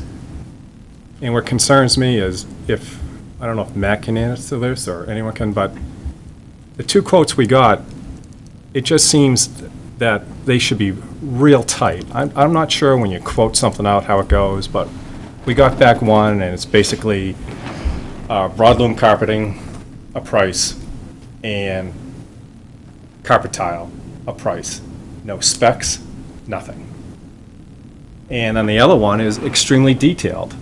The vendor, you know, that, you know, basically, there's more detail in that. And how do we go about comparing two quotes? And it comes up uh, in this packet again, but how do you, what's the procedure when a quote goes out? I mean, it's, uh, to me, if someone sent me back a quote like that, it, I mean, it's unacceptable. And how, you know, and how are we making a decision if, if, if we don't have, I mean, really tied down the specs on quotes? I, I can't speak to this particular one because I think um, there are people involved that actually looked at the carpet material that um, would go into that room, okay? I wasn't involved in that process. Yeah. Who Um, who was Matt, just so we know? I believe it was the uh, town administrator and one of uh, the DPW staff. Was it Rick? Rick, were you- are you cognizant of what's going on here? One of the, the other company did the work before, so they were very familiar with what was there. Right. They also knew what we had up here. I know it was kind of, not, it was kind of broad, but they're very familiar because they did the work before. And I think that's why their proposal's the way it is, Yeah. where the other guy didn't do it before. Yeah, I'm just hoping in the future, we could have that sort of detail in the quote. Yeah, I think it'd be very helpful. Yeah. Because, I mean, basically, you can sit down in a room and agree on the manufacturing, the quality, the thickness, the weave, and then when it comes to uh, gentleman's agreement, and actually what goes down there, all you basically have is that quote. That's almost like your contract. It's, it's just, you know, it- it's, it has to be tightened up, it's just too wide open. That's, I don't want to dwell too much on the carpeting, but that's, that was my only concern. What was, just, what was the uh, next closest price? Eleven and nine. So it was within a 10. thousand? Yeah, about a thousand. I'd have to go back, it's on, actually, It's in the last packet, which I Yeah, don't have with me. page 37. Oh, the last packet? Yeah. Yeah, and I don't have it on my zip drive. And I think it's been brought up again, it'd be really nice in this packet for a discussion. I mean, I don't know how many times we've said this to have the quotes. Is it, is in this package here? It does say the amount of the quote on page But it doesn't have the 64. detail. The It doesn't detail, have I'm the talking about the detail. detail. Yeah. Yeah. We- And we've asked for that multiple times. I mean, it's just, Yeah, well, well, while we're on that subject, we, I you can know. tell you quick, the price was, uh, low bid was 9842, and the high bid was uh, 115. Almost three thousand dollars. And out of curiosity, because I don't, I don't have the, the uh, the quotes in front of me, was the 9842 the one that was somewhat ambiguous? No. So That That was, was very detailed? that was extremely detailed. Okay. I don't know enough about what, what the weave was with it, but were you satisfied? No, with no, I'm just saying, it's, it- it's Mohawk material, they give you the style, and uh, it's just, it's, it's a lot better quote if you're reading it. They give actually the amount, you know. But, I mean, just, Well, I it just, think going forward, we should make a note, Matt, you know, t- for Steve. We should have all the quotes in this packet. I thought we always, we always had them. This is one of the first ones I, you know, I thought we, what, what Steve was doing was he was taking the information out of the, the first read, so we didn't ask a bunch of questions, but it really should be in this, this one. But anyway. um, I think that's something we can address going forward, you know, to have all the quotes in the, uh, when we actually gonna, do- when we're gonna take action on it. Okay, I'm sure you can impart that information. I can. Okay. Does anyone else have any uh, major issues with this? Call the roll, please. Councilor Wright? Aye. Councilor Carmichael? Aye. Councilor Nazaro? Aye. Councilor Weinstein? Aye. Councilor Pike? Aye. Councilor Levy? Aye.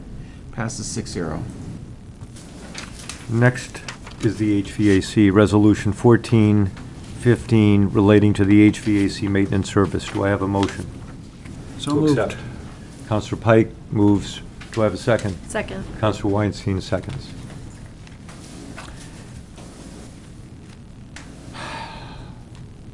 Questions about this? I, I actually had made a, I had one, What, uh,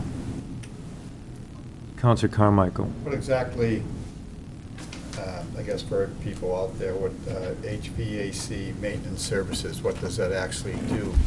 Heating and air Because it's all the, di- it's like the police station is here, somebody. uh, I can, I can speak quickly about it. Um, This um, HVAC maintenance services is to uh, repair and do preventative maintenance on all the heating and cooling systems for all the town buildings. That would be town hall, the library, the police department, recreation, the water and sewer buildings, and the DPW garage and fire facility.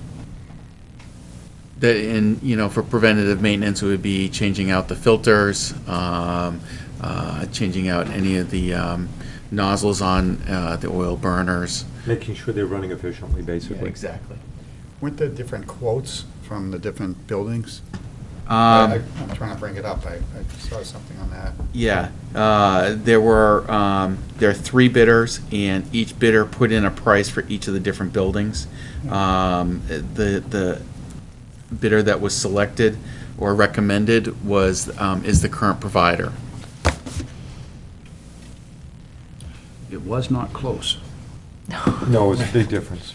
It was not close. But I have a couple, of- Councilor Weinstein? Is that you done? uh, Yes, yeah. Councilor Weinstein? Uh, Well, that's my question.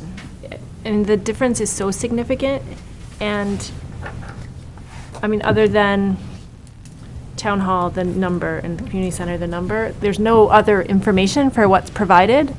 So I guess I'm just, i- is it apples to apples, or um, Well, how can it be? Um, the, okay, thermodynamics knows all the systems inside out, okay? Um, I actually walked around the town with, um, Granite State, and they know which systems we need as well. Um, I can't speak about Siemens, I didn't walk around with them. Um, each of these provided a, an act, a, a thicker package, which would, like, more than double the size of this. Um, I, I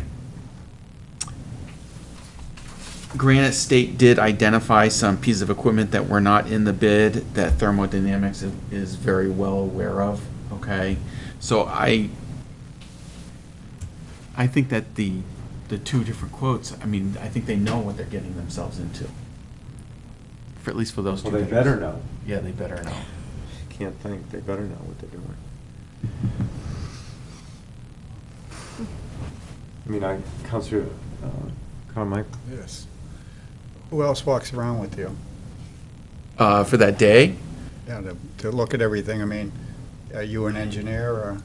No, no, um, basically, I went around with them just to make sure that they had access to the buildings. And we would show them where all the facilities Should are. Rick or somebody be involved in that? Normally, it was Rick, but at that particular time, there wasn't a person to, to guide them around. But I can assure you that the people that were viewing the, uh, the systems understood the system. No, I, I have no doubt with that, It just, you know, Yeah.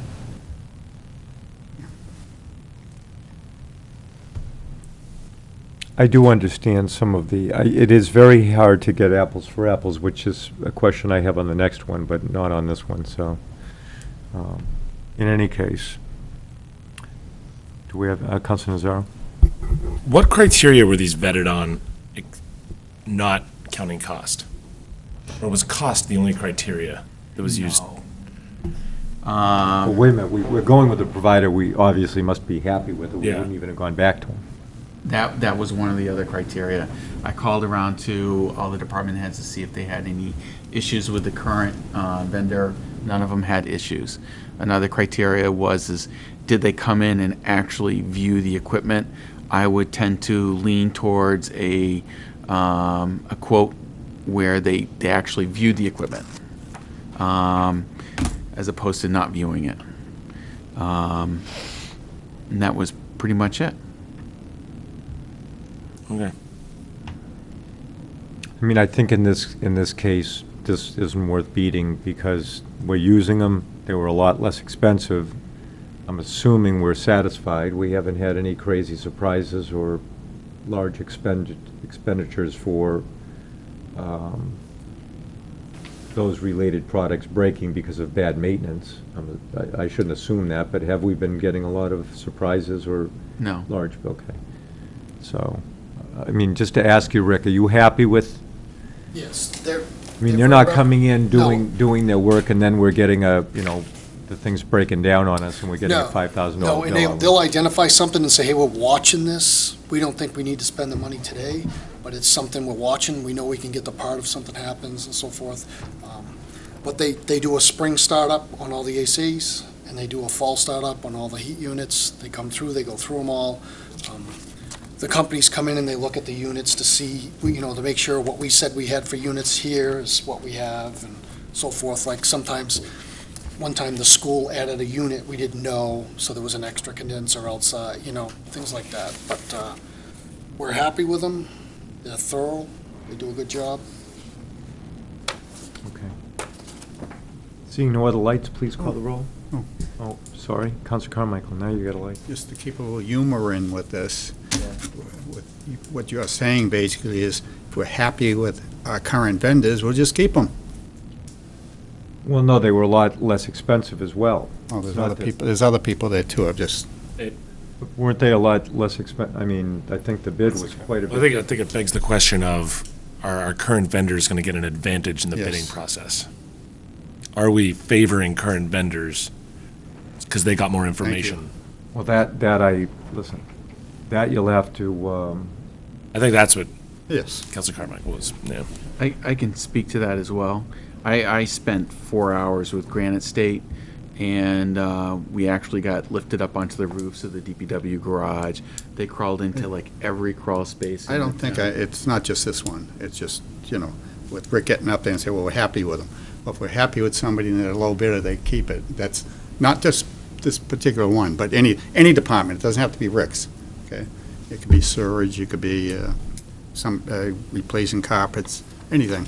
If we're happy with them and they're a little bidder, um, how do we let somebody else in to fair and square? That's all, that's, Well, that's my, my- only- that's my feelings. that's. I, I guess I, if the council really has issues with this, they should bring it up to the administrator, and I suppose the council could go around when, you know, when we're doing a bid, just to sort of see the process.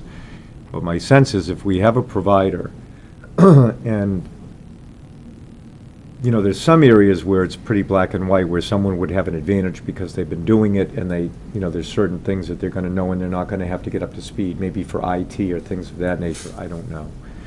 But I think for maintenance for HVAC, if they're looking at buildings and they're looking at what they're gonna have to fix, which were basically air conditioning and, and boilers, correct?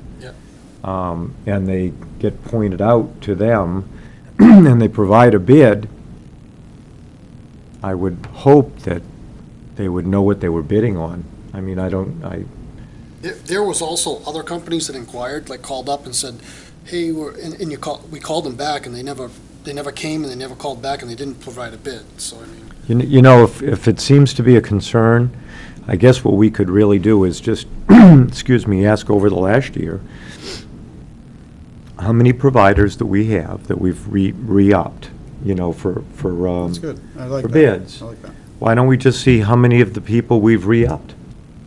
And, you know, and if it looks like, excuse me, we have a, and listen, this isn't new to Newmarket. I've heard people call, call up regarding different agencies within the state, and there's a buddy system, and people feel like, you know, they're never gonna get the bid. And so, but that's usually, in all fairness, for qualifications-based, where price does not enter. In this particular instance, someone's looking at, at repairing HVAC. Geez, I feel like I'm speaking for the administrator for crying out loud.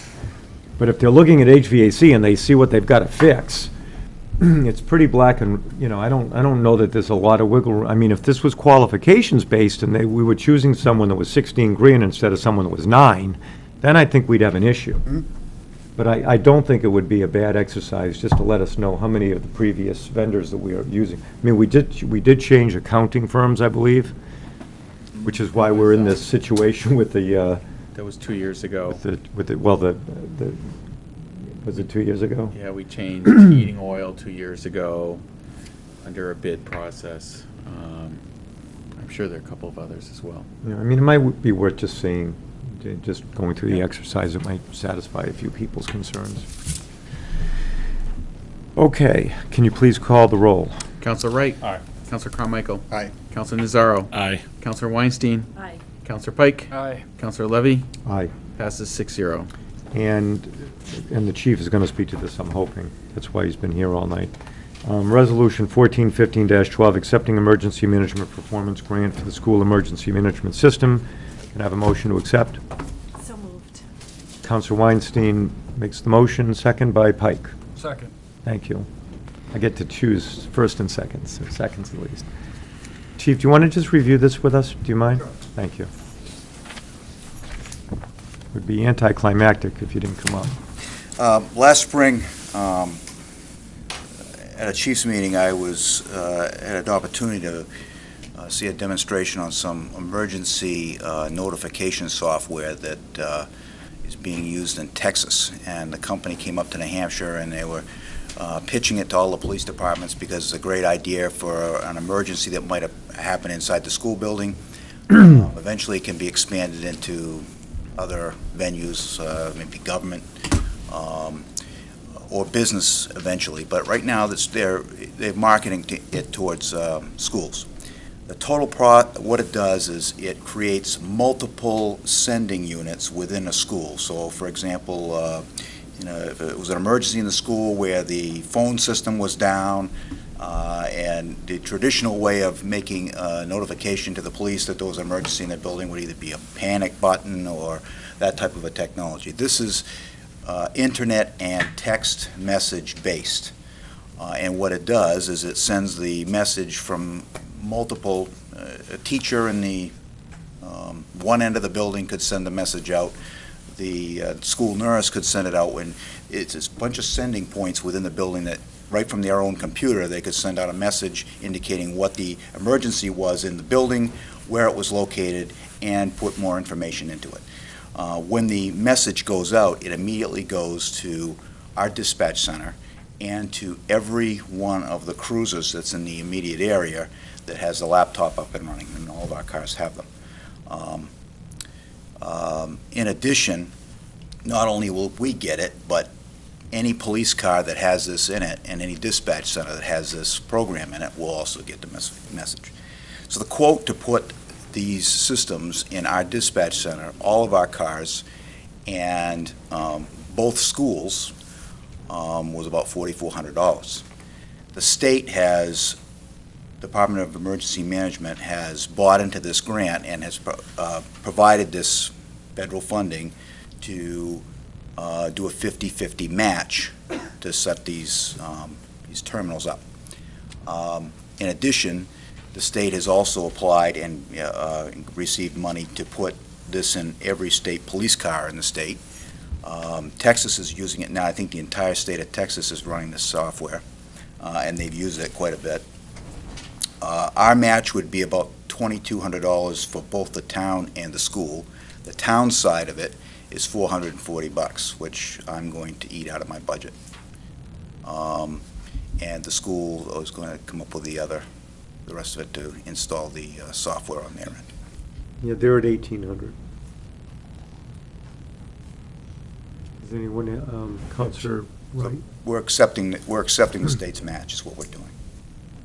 Councilor um, Wright and Weinstein? Chief, you said the town side was four hundred dollars. Now, will the town hall be getting anything? Will the rec department be getting? That's just to set us up to receive from the school. Okay, do you see in the future, In the future, I see them Rec department. expanding this type of uh, technology out beyond the schools right now. Uh, It's it, uh, it's something I know that they're marketing and pushing it to schools because it's, you know, school safety right now is a big hot button. Right. Uh, And the company is fairly new. Uh, Pretty much the entire state of Texas is already on board, and they're, as we speak, uh, moving into Massachusetts and Connecticut and all of the places. okay, thank you. Any, uh, Councilor Weinstein? I think it's a great idea, and um, thank you. Um, I think that having something like that in the rec center kind of makes sense too. Um, But I was curious, you mentioned other surrounding areas, and it would potentially go out to their cars also. Are there surrounding communities that are also going to be doing that, that you know of? Uh, It's, it's you know, like, is everybody kind of doing it, or? I would say a majority of police departments in the state will either get it this year or next year. I- I'm guessing. Um, Almost everybody that I have talked to says it's uh, short money for a great product. Because then in an emergency situation, you guys can really help coordinate services. Great. Councilor Nazaro. So, agree, it's great. I think it's a great idea. Uh, But just so we know everything about it, anytime you take federal or state money, usually there's something else attached to it. Like, what are the requirements? Like, do we have reporting requirements? Is there any additional requirements that are going to be placed on the department? No. Thank you. What about going forward? Is there any additional, is there any, is this a one-shot deal and that's it? It's a one-shot deal Everything for will be setup. paid for, no, I believe there's a small maintenance fee, but it's not anywhere near this fee that we, we could budget in next year. if we so it's short money? This is the installation of the product, basically. No other questions? Last question, you said it will go to the dispatch, the police or are equipped with this. Will it go to 911?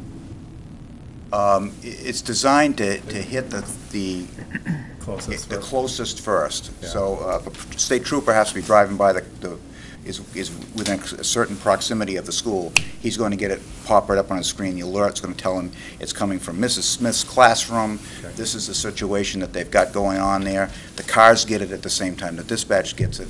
Uh, And eventually, it's going to be rolling out to the smartphones. So the officers will actually get it on smartphones. So if I'm not in the car someplace, it's going to ping, I'm going to get the alarm, and uh, it's going to notify me there's an issue at the school.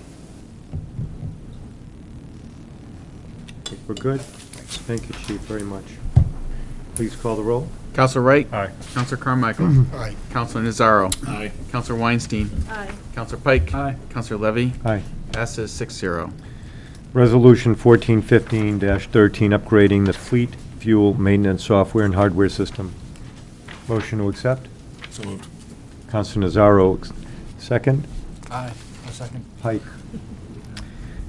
This was the one, excuse me, that, um, for me, was a little bit hard to um, correlate. Maybe it was me, but when, when I started comparing the quotes, um, if you take a look at the scope of work, for example, excuse me, on page 78, which was, I guess, um, company was Gaudet and Gaff Tech, who I guess actually got the work. If you look at, you know, their quote, Matt, because I'm assuming you were involved in this, or somebody must have been involved, because it had Doug Poulin's name. And then you go down to page 80, and you look at um, company that has the Eagle, Gold Eagle Contracting. If you look at those two quotes, seriously, you tell me that that looks like the same stuff. It's on page 80 and 81 is their quote, Gold, Gold Eagle there. And then if you go back up, now they may be doing exactly the same thing, but I would never have gotten that from this. If you compare pages 80 and 81 to, you know, pages 78, I'm not saying it's not apples for apples, but it was kind of hard for me to decipher it all. I don't know if anybody else found it a little difficult to correlate the two. But I don't, you know, it's hard, very hard Mm-hmm. to really go, oh, okay, that makes sense. I think you kind of have to understand the different systems. Like one, uh, one with the Eagle is a Gasboy system. The other, uh, the Gav Tech is a Petrovend system. I've seen the Gasboy myself, so when I look at that, I, I know pretty quickly what it is. I think you kind of have to be around it to understand it. So is it apples for apples? Because it sounds like you just said there were two different systems. Well, it would be like the difference between Mac and and uh, Windows. Windows? So when we put out the RFP, we don't, we don't annotate what we want, or we just say, this is what we want to do and give us a solution? I mean, I'm just Yeah, asking. you, you would put out an RFP saying something like, uh, this is the number of vehicles we have, these are the kind of controls we want to have, and this is the kind of uh, information we want to track. Uh, we don't want to um, uh, hinder any potential bidder from bidding. We, we want to try to get as many bids as possible. I guess I'm just wondering, you know, the, there was one from Wid, Wildco, fourteen-seven in Gaff Tech, um, for thirteen-five, which was within basically twelve hundred bucks. And, um, I, you know, it was just hard for me to determine, really, if, you know, for all I know, Wilco is doing more for twelve hundred bucks, you know, I have no idea, looking at this, that, you know, if everybody else is comfortable, great, but it's, for me, it was very hard to to decipher. I don't know how everybody else felt. Councilor Nazaro? So, Brad, you said one's Gasvend, one's Petrovend. The one we're going with is Petrovend? Yes. Gasboy and Petrovend. What are we using now? I'd have to ask the DPW director. We have, we have a Gasboy system. So we're going from Gasboy to Petrovend. Yeah, Is there, Gas so it's Boy like going is- from Mac to PC or other way around. Yeah. So is there a learning curve? Yes. Training on how to So- use the system for the individual that does the monthly Training. reports, Twelve hundred a day. not for the people that use it. Everyone else, it will seem like the same sort of They're system, not gonna, they're gonna just get a different looking key, and they're just to get their gas. business as usual. The individual that does the monthly billing is gonna be the one that's gonna have some training. Is that included inside? of Yes, it is. It's the training, it's to get it all up and running, to encode the keys, and we will be able to make our own keys with this system too. The current system, we have to pay someone to do that. With this system, we can, we can make our own. Um, It's new software and hardware. The system was put in 2004. It's all outdated, and we talked about this through the budget cycle. We put some money in vehicle maintenance equipment purchase for this last year, if you recall. We knew it was gonna crash soon, and it crashed July, when they went to do the report, it did crash, so we no longer have any uh, reporting system. Um, It's just what people are writing down. We, we put it, we implemented a temporary system, but it's just paper at this point. So this is for new software and hardware, and it's to track all the fuel, fuel usage for all the departments. Is, where is the, I just don't see the, I see the training in the other two scopes of work, just not this one. This one being GAFTech, Yeah. it's the, uh, I, I did question that. Supply system startup, startup and programming. That's the training That's, inside of the- that? that's the training with Jan. Okay, thank you. Anyway, Yeah, it doesn't. that was my, my, you know, it was very hard for me to compare these two. If, uh, If we're gonna get the right reporting and everybody's happy, or be it for me to, I just find these very hard to, um, to compare. I can tell you it's all, I will tell you this, it was difficult for me, and that's why it was a, more of a Doug Poulin thing, because it's all IT. And he assured me that it was apples for apples, all the same system, training, because I was concerned someone wasn't gonna sit down and spend a day training, because there's a lot to this for the person that does that. It's not, it's not easy. Um, And he assured me that it was, he, he's personally met with these people, spoke with these people, and Something it is tells- very complicated to look Something at, tells like- me Doug's gonna be spending some time I agree. after that day, But, uh, which, by the way, is twelve hundred bucks in one of the quotes for, for, Two days, yeah. twenty-four hundred. Anyway, if you're happy with it, and far be it for us to, I would just like the quotes to, to be a little bit easier to compare and contrast, but that's me. So, I don't know if that can be done, or, I don't know if there's a way to, you know, get an overall scope of work that we feel is, is apples for apples, but anyway, um, that's a discussion probably for a- a- another day. Um, Please call the roll. Councilor Wright. Aye. Councilor Carmichael. Um, Aye. Councilor Nazaro. Aye. Councilor Weinstein. Aye. Councilor Pike. Aye. Councilor Levy. Aye. Passes six zero. A lot of soft eyes there. Um, now we get to the good one. Leo, we're here for you. Resolution fourteen fifteen dash seven, proposing an amendment to the town charter relative to appropriating money to the CIP funds. Can I have a motion to accept? So moved. Now, we need to make two amendments to that, and then we can discuss Can a it. second to my, Yeah, yeah, well, you, you made a motion, okay, so second? Second. Okay. So Pike and Weinstein seconds, and Do we, we should vote on it and then do the No, I amendment? make you make amendment now? Motion to amend Okay. now. And there are two amendments that I am uh, motioning to be added. One is that strike out the, uh, the, on the, um, under the, now therefore be it resolved, first paragraph, where it says that it would be on the ballot on November 4th. Instead of on the ballot at the November 4th, it should say it would be on the ballot at a special election and a date to be determined later. And Hold the on- hold on- second, Hold on a second, if you could. Patricia, did you get that? Okay, so take your time. It's, it's, it's resolution fourteen fifteen seven. It's the one for the town charter. You got it? And it's in the first, it's in the, uh, halfway down the page, under now be it resolved. See it? And it starts out pursuant to RSA. Okay, so why don't you read the verbiage one more time for her? and where it says, instead of saying at the November 4th election, it should say at a special election, the date to be determined later. All set? or And date then be- go to the back of the page, Right. All the way to the back, the last line. The last sentence before first reading where it says, "This amendment shall be in effect as soon as its passage." That sentence is to be added, because that was not in the original posting. So that, so, uh, above first reading, Above first reading, that sentence, where, it- it will say it on there.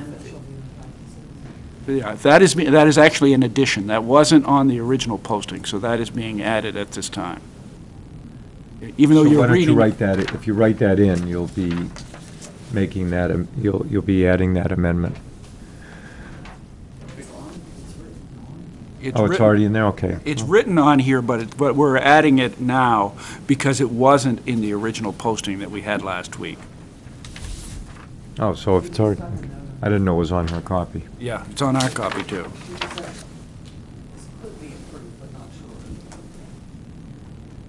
Well, we'll find out in a minute. Let's take one step at a time. All right, so that's, that, I've got an amendment. Do I have a second? Second. Councilor Weinstein seconds. Um, Now, we have to vote on the amendment and then discussion.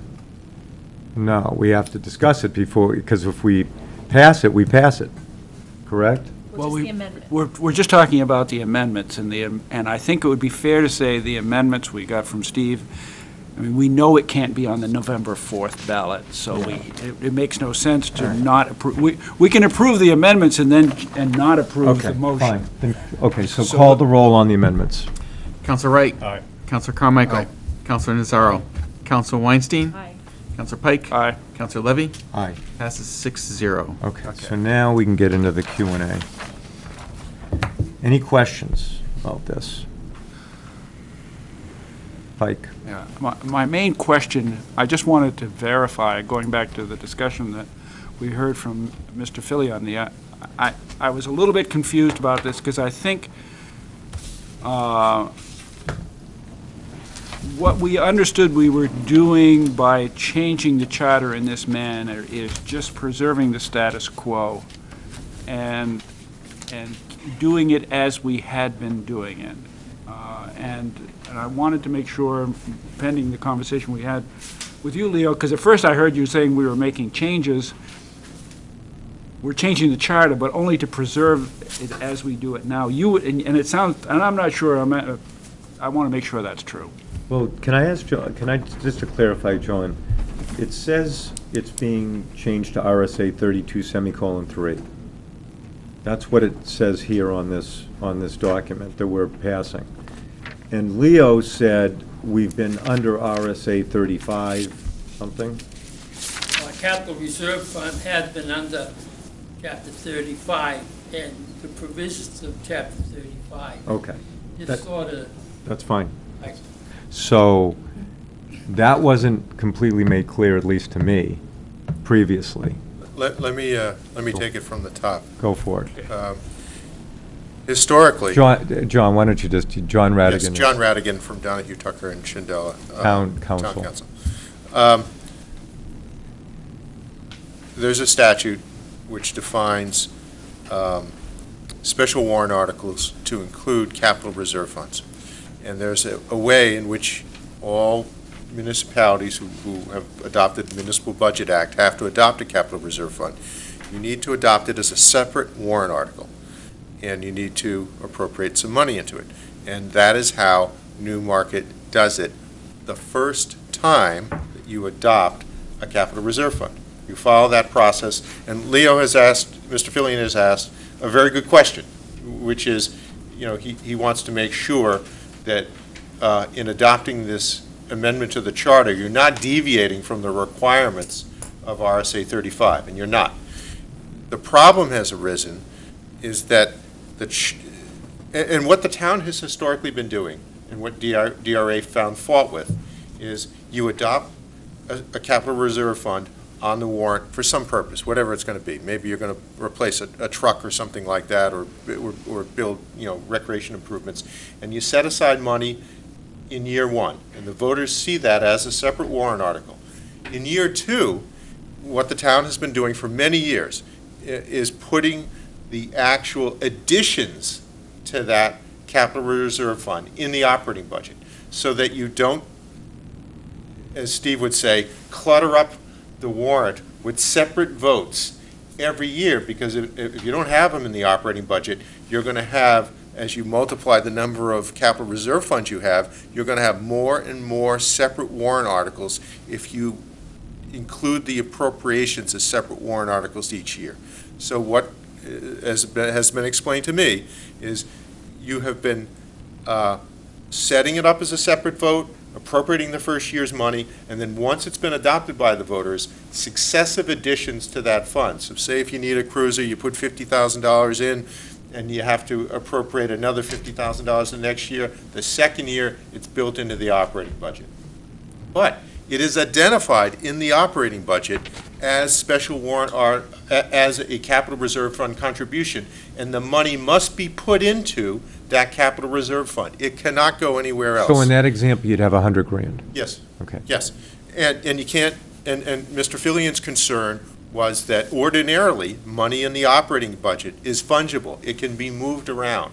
But when you identify it in, as a capital reserve fund in, in the, in the budget and in the budget details that the budget committee sees, it cannot be moved around. It can't be put to another purpose. But here's the question, John. Yes. If we pass this, Yes, the way it's written, um, RSA thirty-two semicolon three, Yep. four, whatever. Yep. Will it then potentially become fungible? No. And, and let me explain why. Right now, eh, your charter defines operating budget to exclude special warrant articles. So what it really means, and what DRA pointed out was, in the last year's budget, they, they, they woke up and saw this. They've been seeing the budget for never, many years, they've never caught on to this. They woke up and saw that there were multiple um, contributions to capital reserve funds that were approved as part of the operating budget. And they said, they, they don't have a problem with you doing that. They have a problem with you doing that because your charter says you can't do it. So it's not inconsistent with RSA 35, as long as you identify it as, as a special, as a, a capital reserve fund. They don't have, it doesn't violate the state statute. It violates the charter. So we're amending the charter to take out that language that doesn't let you, that, that prohibits you from defining operating budget to include um, capital reserve funds. So next year, if you adopt this amendment, um, and you may identify capital res- reserve funds in the operating budget, the budget committee will see them, they may adjust them. The voters ultimately will get a, will get to vote on an operating budget that will include capital reserve funds.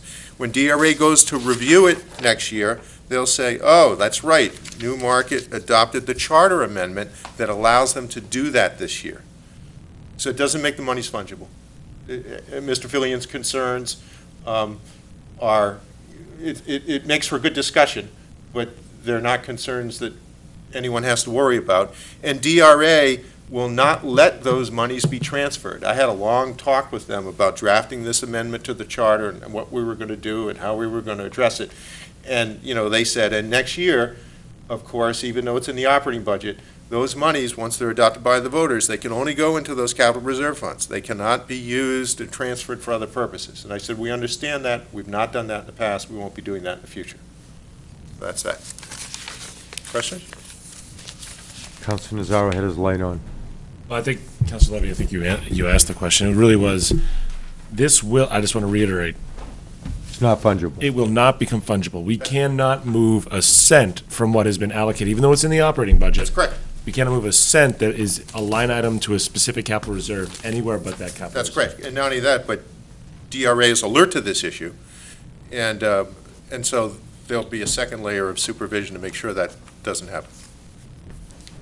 Council Weinstein? Um, So overall, I support the idea of amending the charter. But I have to say that I think um, Chairman Levy pointed out, I kind of like the idea of the, even in what, for one year, seeing those, um, seeing each fund uh, listed and, and the townspeople having more control over the process. I don't necessarily think that's a bad thing. Um, my, my issue really is with the idea of the special election. Because I think that uh, when it will happen is, you know, right before the holidays. I mean, that's kind of what we talked about. Either right before Thanksgiving, right after Thanksgiving, right before Christmas. Um, and people aren't paying attention. Uh, they're not paying attention at that time of year. And in general, to the charter, um, people aren't paying close attention anyway. And that concerns me. It concerns me that, you know, 400 people might come out, um, if we're lucky, and um, vote to, to change the charter, which I think is a, is more important than that. So, um, so those are my concerns about it. I mean, I don't know if anyone else has any thoughts about the idea of the special election, um, as opposed to um, waiting until March, which I think I would be more inclined to support. Councilor Pike? Yeah, I, I, I share the concerns. I was, I was inclined to, uh, to go with a special election, but I think it poses a question as two things. One is, if we do go with a special election, uh, I don't think I, you know, I- I've had it explained a couple of times. It was really helpful to have Attorney Ratigan explain it again right now with all of the background to that. And I, know- I I don't know if that answered any of your concerns, Leo, but uh, we'll go back to that. But anyways, I, I, I think, I thought that was helpful. So the, the question I have is, if we did go with a special election, and it, and the election turned it down, and so we went, does it, how long are we restricted from raising that question again, is what I'm trying to get at. I, I don't, I'm not aware that the charter. We're all assuming it's going to pass. Yeah, I'm not aware the charter puts any prohibitions on how quickly you could bring up another issue. I mean, you're the, you're the council, y- it's a, it's an amendment, you could bring it up. at- It would come into the election, I Yeah, guess. it- would you be could the bring it up in election. March. You can bring it up in March, so that, Yeah. that's, the that, that's part of it. Okay. And, and my only, my, my two cents, which I said last time, was um, mostly what, what uh, Council Weinstein just said. Number one, the only thing about it is now is, we have a bunch of CIPs, and let's just say there's five to make it really simple. And we, you know, the department heads start out at whatever number, Steve cuts it back, you know, to stay within the budget, and there we go. And then we vote on the budget at the council level, and usually we keep all those CIPs pretty consistent with what the recommendations are, just in general. I mean, I think we added a little bit of money for road last year, but in general, we keep it pretty consistent. And then we, we bundle, bundle it all together, and we put it into our budget, and it goes to the budget committee, and then they usually, in general, leave the council pretty close to where it is. It comes back to the voters, and then they vote for it. And my only, and I, you know, you can go both ways. On one hand, I, you know, and I said at the last meeting, it would really be a little bit more democratic doing it with all the, um, all the CIPs being listed, because then if people really didn't feel that this was a worthwhile issue, um, meaning they didn't want to put money into this fund, call it Fund Five, they could vote it down. The way we do it now is, it's all aggregated into our budget, and, and, it- and, and, and that's okay, they elected us to make these decisions, we, we voted to, to do it, um, and, um, and they don't really have a choice. It's like, that's it. So that's, you know, I had two issues with it. That, just to, uh, to- Leo's point, it would be interesting to see if all the CIPs passed exactly the way we, you know, um, send them to the, it would sort of give us feedback as to, do people agree with what we're doing as far as passing them? And B, I thought the special election uh, uh, was not going to have a particularly big turnout. Um, The flip side is, this is the way, you know, just to argue the other side, we've been doing it this way forever. And, and it only became an issue because, I don't even know why DRA became, it became an issue, but frankly, I don't want to even know that story. Um, So I, I told Steve I could go either way. I'm not going to be a big roadblock in this. Um, My only issue is, from a purely democratic standpoint, the voters don't have an opportunity to say, I don't like four, you know, and I'm not going to support it. So, you know, Which they don't now. but I'm not going, to yeah, which they don't now, but they would if we actually listed it. And it would give us some feedback to, to see if people are consistent with where we are. Of course, they could still come to our meetings, they could still show up and say, I don't like what you're doing in the budget, you should spend more money with this or that or the other thing, but anyway, that's my two cents. On, on that issue, you're not limited from breaking out any article every year that you don't want to include in the budget if you thought you- wanted to get feedback. But I don't think that's, I, I get, I, appre- no, that's good to know, John. I, I, I think the issue is, we wanted to just sort of bundle the budget and just be done with it, and not have to say, well, our budget is four point five million, but when you add in the CIPs, it's really five and a half, and people don't always know that, and, but even if, if it says, this is gonna add this to your tax rate, it would be a little, you know, I think that was the, the model that we were working under, so, um, Ho- Hold on, let us finish deliberating, Leo, please. Uh, Councilor Wright? I said it last time, I mean, we're changing the charter, special election, how many people are going to show up? 400, 500, 600, 700, so. The flip side is, we've been doing it exactly this way, I'm just playing the devil's advocate forever. Like I So- said, we're changing the charter. Special election, But We've been do, it- we are changing it, but we haven't, we're not really changing the way we're doing business, in all fairness. We're doing business exa, is that correct? We're doing That's correct, business yeah. exactly the same way we've always done it, in all fairness to the, to- to the honest, to the process. Councilor Nazaro? So, I've given a lot of thought since last meeting, and I do have what Councilor Wright brought up about being a special election. And it is, I, I agree. And My whole point last time was that this is the way we're doing it. We're just trying to stay consistent for consistency's sake. I also recognize that we have, uh, as I understand it from the CIP committee, a large amount of capital reserve funds compared to other municipalities. Is that correct, Matt? We have like 19 of them? Wow. Yeah, we have a capital reserve fund for almost any. Ev- Everything. Almost Whereas everything, yeah. mo- other communities like have a few and then like bond us. Uh, we don't bond a lot. But there's a reason behind it. Uh, there's, I'm not. I'm not. arguing. I like the reason behind it. It's because we save as opposed to. Yeah, I mean, bonding. other people bond roads. They bond everything. Please, let's we not go save there. and then use it. So I like it. I'm just saying that we have a very large amount of them. So that's where my concern gets in. That you're going to have every year. 19 warrant articles guaranteed. No, no, no, the- in all fairness, we got to, for full disclosure, the concept was we would do it this one year, and we Right. put on the ballot in March, do you want to change it back to the way it's always been? So I don't think it was going to be this way forever, My, so. I mean, when I really sit down and reflect upon it, the idea of people being able to make the decisions one by one is much more like honest and fair. Like they allow, well, it allows the citizens to make a decision. On the flip side, the unintended consequence is that it certainly takes away, like we have been entrusted with the long-term planning for the community and as their representatives, and it takes away our ability to do that if one year they decide they've got some issue with trucks and Rick, like all of a sudden gets a ton taken out of his, like his fails. And it, it- we then get stuck with, how are we going to manage a process that we have, like, we've been figuring out, the CIP is the one place we have long-term planning, and it could get inadvertently, for whatever reason, shifted in ways that we'd have to pick up the pieces from. It's, so I'm, I'm really torn by this one.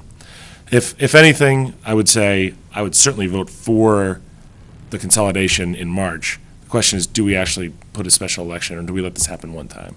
I'm, I'm actually, I'll, I'll just take my position, just not it'll affect anybody. I'm gonna support it.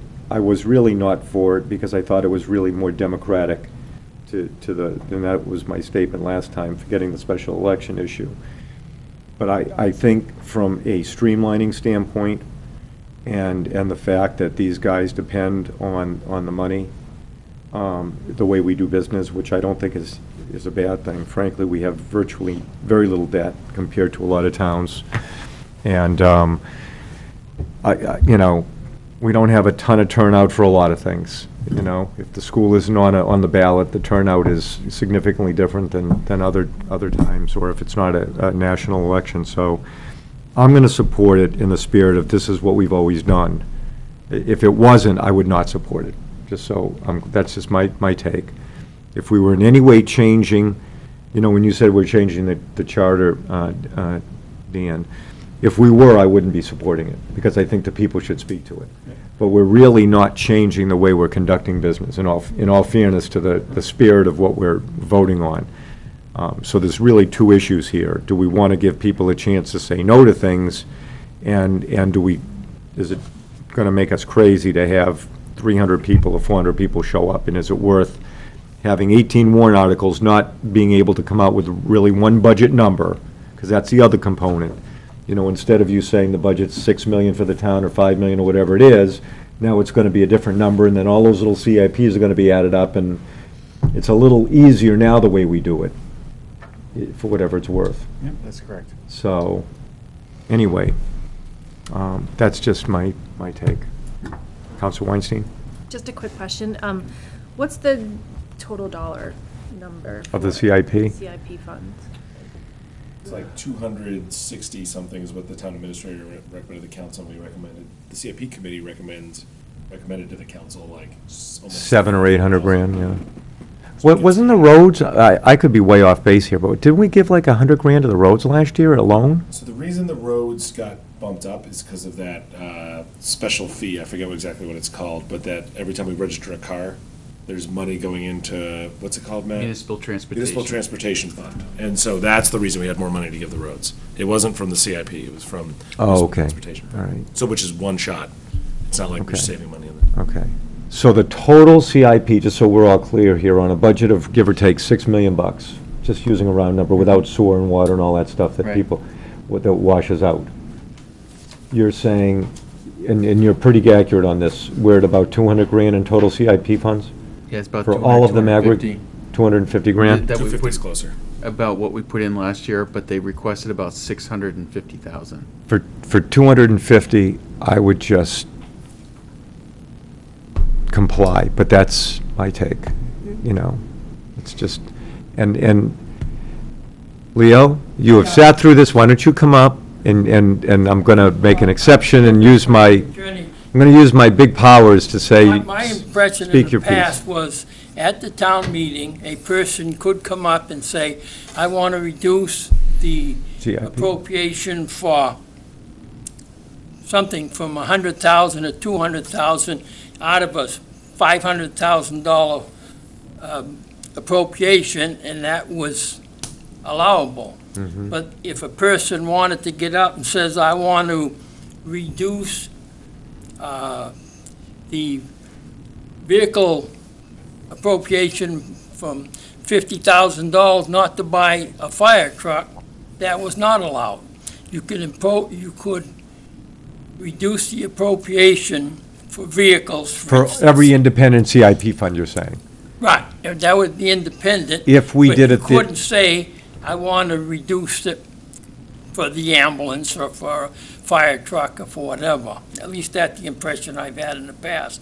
But you agree that you could? Well, Leo, um, ordinarily, when, when the, when someone gets up and wants to amend the operating budget, they might point to an article into a line item and try to reduce it. right, let's take, let's look at capital, capital improvement plan here. Last year was three hundred eighty-eight thousand, eight hundred seventy-six dollars. That's an accumulation of all last year's, uh, operating budget, three hundred eighty-six thousand. A person could get up at the, and that the- accumulates all the articles, basically. A person could get up and reduce one of the numbers that made up that three hundred and eighty-six thousand for whatever they wanted, and it would be legal. But then, if you get into an article that says, uh, hundred and fifty thousand for vehicle purchases, you That's could right. cut the total down of hundred and fifty thousand to fifty thousand or whatever, but you couldn't say, I wanna cut fifty thousand because I don't want you to buy. That's right, that's just right, one." that- right, right. The- The, ordinarily, you can't, you, you can talk all you want about amending the operating budget, but you can't pick out a specific item and have the effect you want of amending it up or down, because it's a bottom line budget. Right, but capital reserve funds are different. That's right, capital if we- reserve funds are are So if we different. did it that way with the CIP, they could change them, or they could make that motion, or they couldn't? No, i- i- as it has been described to me, these capital reserve funds are identified by line item in the operating budget. So you don't, are they identified by line item in the operating budget? They are. They are. Total. Yeah, no, No. no, line item. So, e- so in other words, say you have a capital reserve That's fund. the operating budget here. Isn't it? The capital, capital improvement plan, the, the actual, the administrator was three hundred sixty-eight thousand, eight hundred seventy-six. Leo, That's Leo, I- accumulation. I, I don't, I don't know what you have here. I, it's been described to me, it's been described to me that the individual capital reserve funds in the operating budget each have a line item and an amount.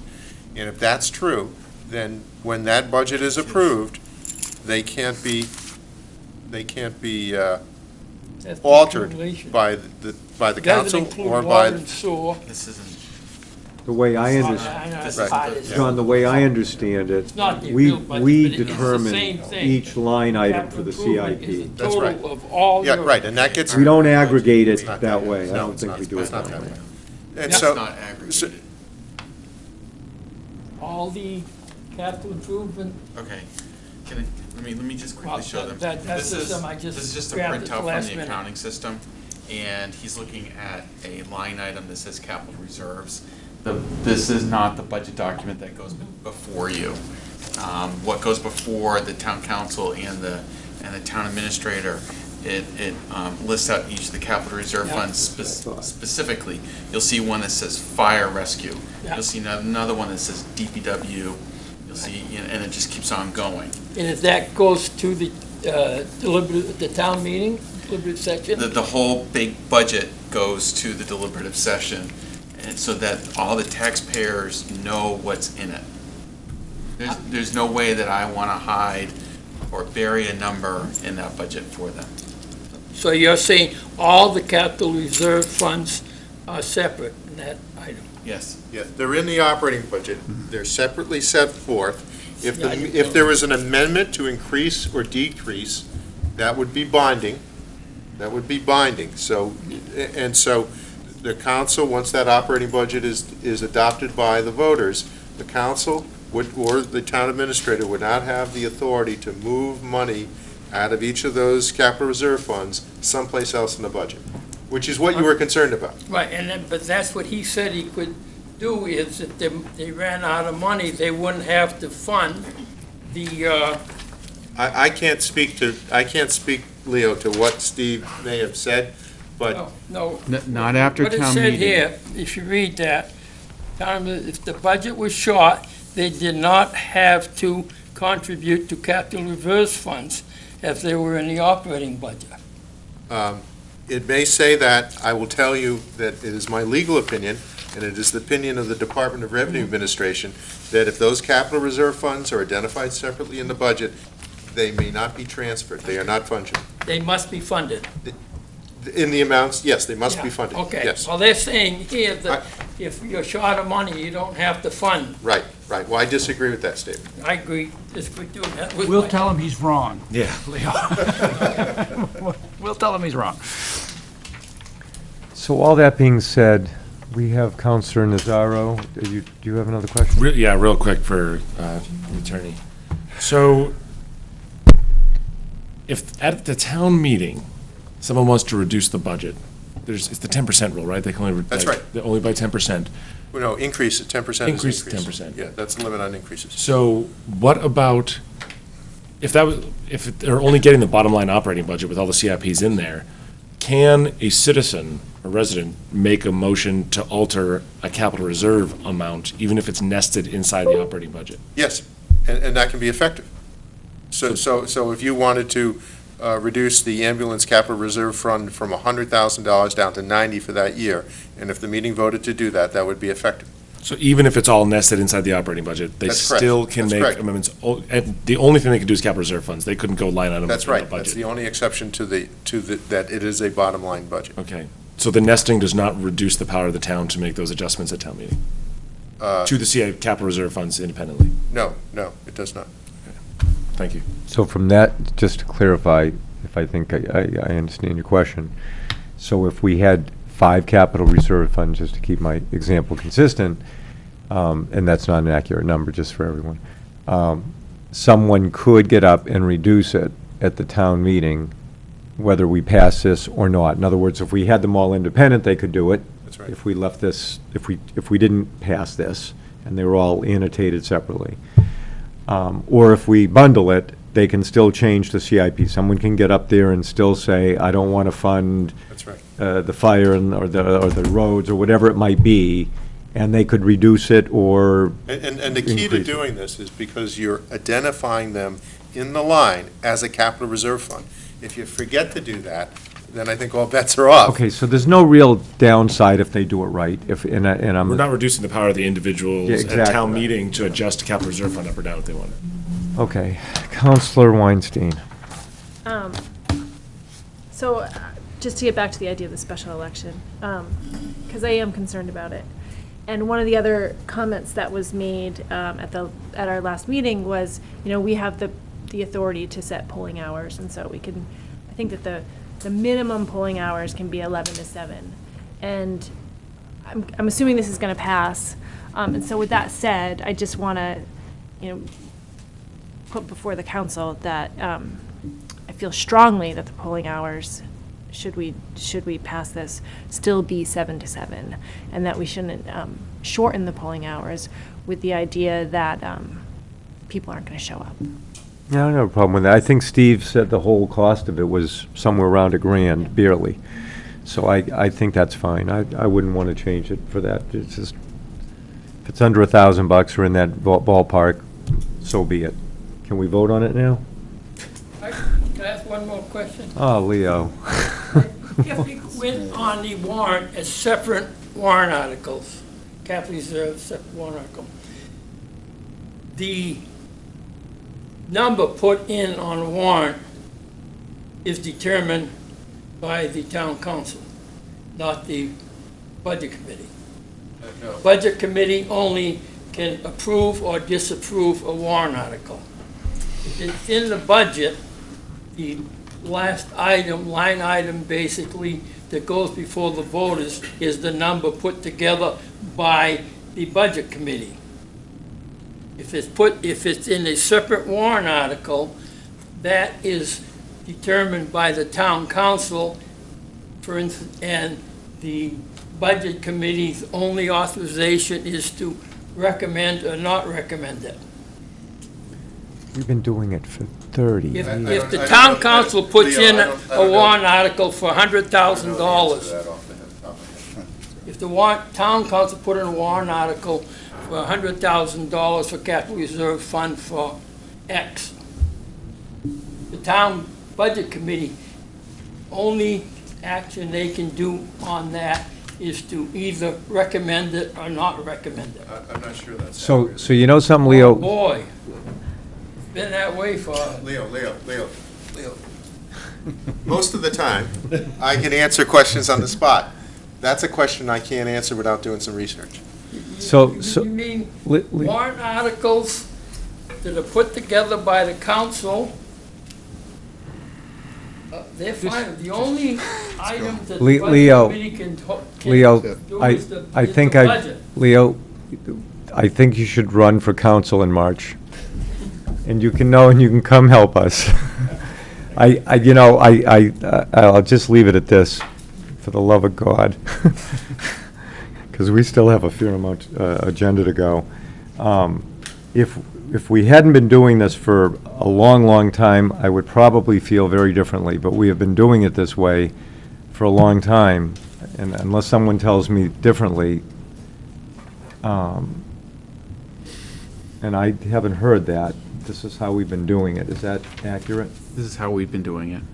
Um, I would just like to call the roll at this point, if that's okay. Call the roll, will you? Sorry. Councilor Wright, Nay. Councilor Carmichael, Yay. Was that a yay or a nay? Yay. Okay. Councilor Nazaro, Nay. Councilor Weinstein, Nay. Councilor Pike, Aye. Councilor Levy. Aye. It's a tie, three, three. Councilor, it fails. Fails. So we're going to have all the warrant articles. Okay. Next on the agenda, town council to consider nominations and appointments. So we have to appoint two for March 2017, two for March 16, and two for March 15. Do you want to just review this briefly, Matt? Do you have the, are we voting for all six members tonight? Is that the deal?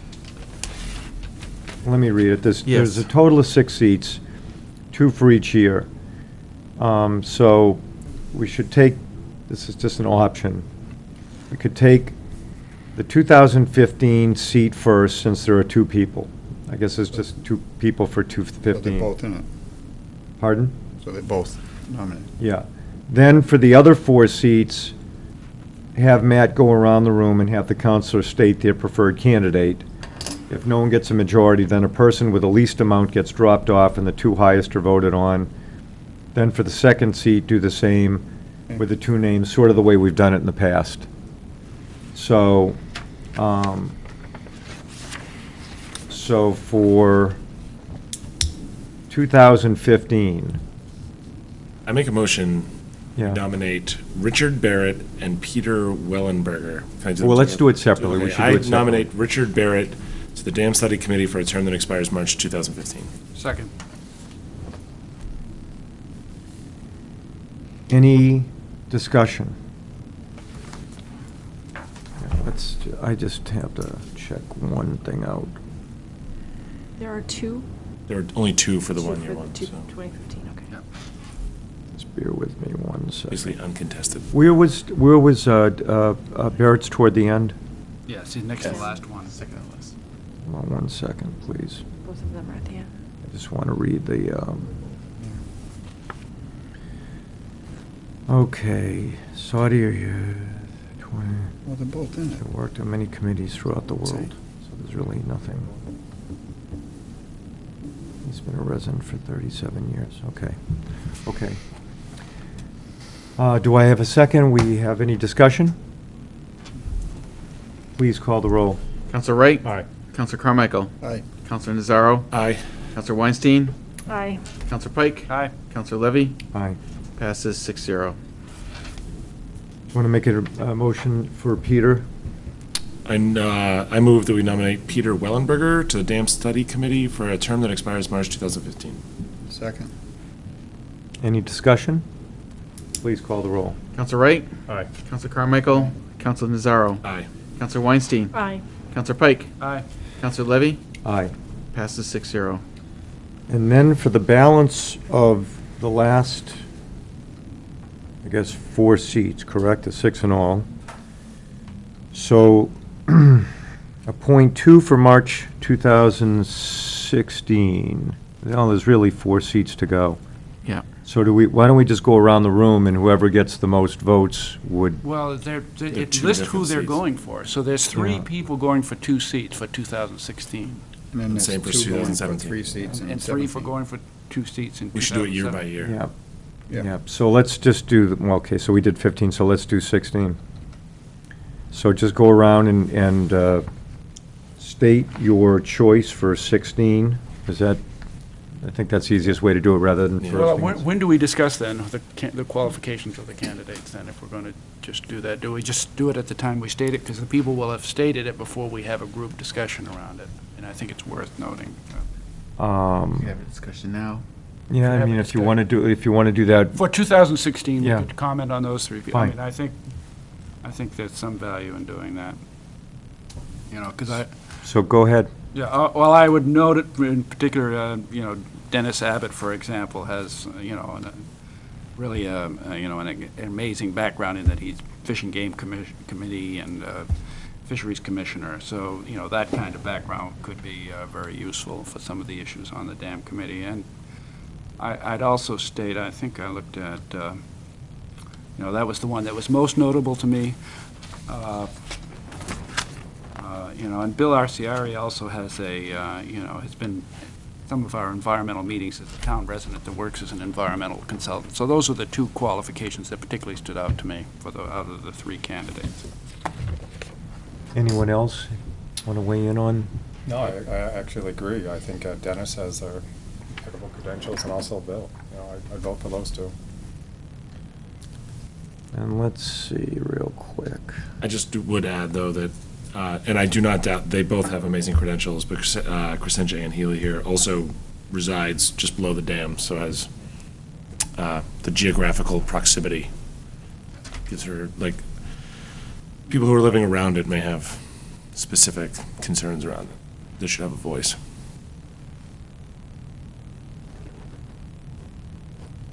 I'm just going to, I just, my computer just shut down, so hold on a second. I want to get back up for, for Ian.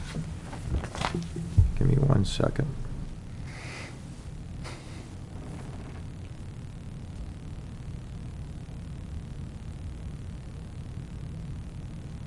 Okay, I got it. So Ian Healy's credentials. Reside in town. Were we just talking about the 2016? Yeah, she lives on the, on the, uh, and she was on the TIF committee. So, go around, go around the room if anybody has any other, any, any other comments. I have no other comments. State your first preference for the first seat, and then state your first preference for the second seat. Or should we just name them both at the same time? I think it'd be easier if we just went one at a time. Because if we go, do them both, it's gonna get too confusing. Okay. So state the first person you want for 2016. Dennis, Dennis Abbott. Okay. Councilor Carmichael. Um, I'll go Abbott. Abbott. Dennis Abbott. Dennis Abbott. And I'll be the lone one. I'll say Arcieri. It doesn't matter. It's- Abbott's in. Okay. And then, um, your second choice for 16. Please call the roll around. Councilor Wright. Sari. Councilor Carmichael. Uh, Asari. Councilor Nazaro. Absolutely nothing against Bill uh, Healy. Councilor Weinstein. Um, Bill Arcieri. Councilor Pike. Arcieri. Councilor Levy. Bill Arcieri. Okay, bill passes five Who was one. elected on that one, looks like? Bill Arcieri. Bill Arcieri and, and Dennis Abbott, Leo. Okay. And then 2017, we have Bob Gazda, Robert Sheehan, and Leo Fillion. Does anybody know Fillion? Heard his name once or twice, I don't know. So, state your first preference. Councilor Wright. Well, do you Oh, wanna I'm, oh, excuse sorry. me. Yeah. Just, do you want to, Yeah, I want to think go we through should a have this discussion? Sure. I don't have to be the one, I don't have a comment yet, but go ahead. But I think we should all have the No, it's opportunity. fine. I don't, I don't have any comments. Does anyone have any, I don't see I- any buttons. Oh, God. So I'm just going to reiterate, In this meeting. uh, again, all three have great qualifications. Um, I know Bob and obviously Leo. Uh, But again, Sheehan lives right on the dam. And I do feel like having a voice of someone that lives in or about the dam would be of benefit to the conversation of the committee. Thank you. This is two out of three on this, right? Yeah.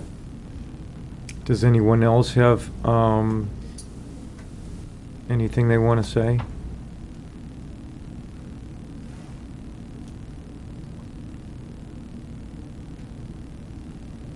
Seeing none? Well, I- I- Oh. somebody ought to say that it is not, it- if he behaves himself, Leo, you, you you have a, a background in the dam that nobody else has, and, uh, and and it's been, always been useful, and the engineers around have, have, have found it very useful to have that background, and it should be said. Got a um, damn good background. He has a damn So, That being said, please call the fir- uh, uh, first person for 17. Councilor Wright, Mr. Fillion. Councilor Carmichael, Leo. Councilor Nazar- Nazaro, Leo Fillion. Councilor Weinstein, Leo Fillion. Councilor Pike, Leo Fillion. Councilor Levy. LF. All right, unanimously, Leo Fillion. And second seat for 17. And just, it's between Bob Gazda and uh, Mr. Sheehan. Mr., uh, you want to call the roll, please? Councilor Wright, Mr. Sheehan. Councilor Carmichael, Sheehan. Councilor Nazaro, Apologies to Bob Sheehan. Councilor Weinstein, Um, Bob Gazda. Councilor Pike, Robert Sheehan. Councilor Levy. And this is no reflection at all, but I think, I think Gazda had, you know, very strong, um, you know, background um, in, in with the conservation or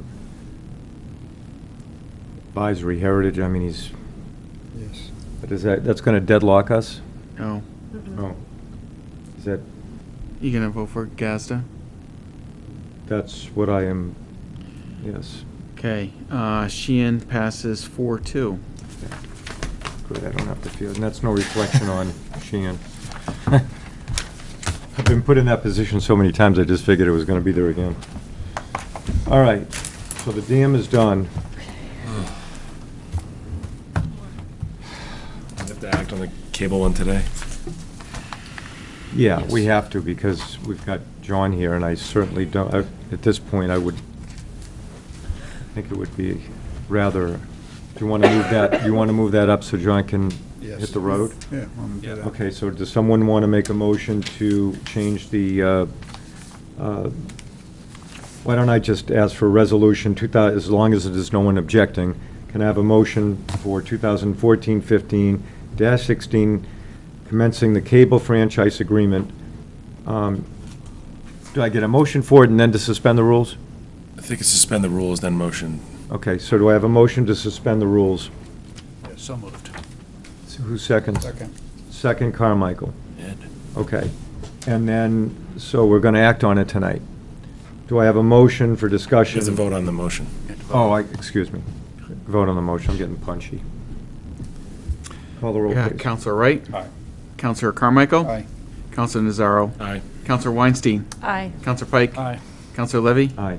passes six zero. Okay. Now, do I have, do I have a motion to accept 1415-16 commencing the cable franchise agreement renewal process with Comcast? So moved. Who, uh, Pike, second by Second. Weinstein. If you give me a little latitude, I'll move this thing right along, guys. Um, Do you want to go over it, John? You've been here this long, you might as well give us a quick review. Yeah, this is the, uh, the first of, the Come on, first step. come on up. This is the first step in, in uh, the town exercising the uh, limited rights that it has to renew cable franchising. Um, And it starts with the uh, ascertainment hearing, and so when I get done speaking, you'll ask the public if they have any comments, and um, what you have to do is have this first hearing prior to September 30th to exercise your, uh, September 20th, excuse me, to exercise your rights. You can have more hearings in the future, but you got to start the ball rolling because that's the date that's six months before the expiration date of your franchise agreement. Uh, So, um, yeah, this is the first step. Kate's memo, which I think you have, uh, it's March 28, 2014, outlines this. Um, You'll need to make a choice on, on what type of um, organization you're going to have to engage in this ascertainment process. I mean, you, you look for public feedback from members of the public about how the franchise has worked.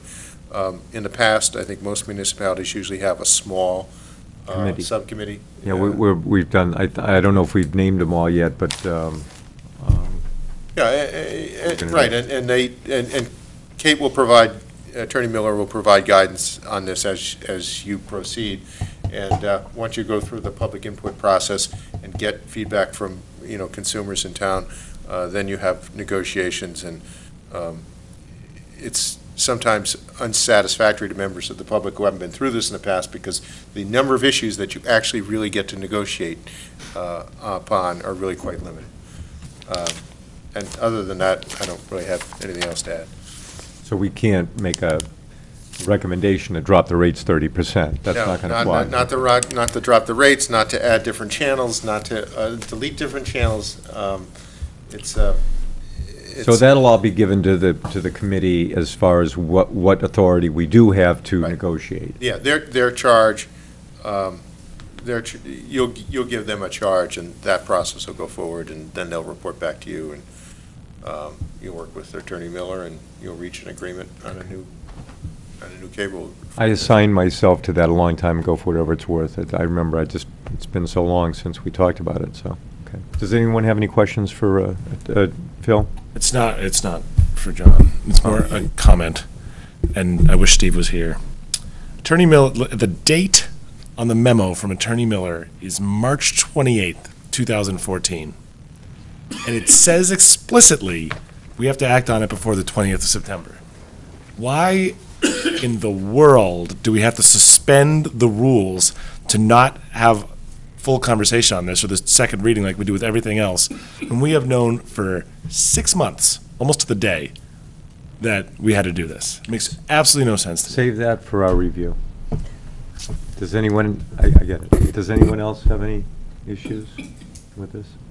So John can hit the road, Jack.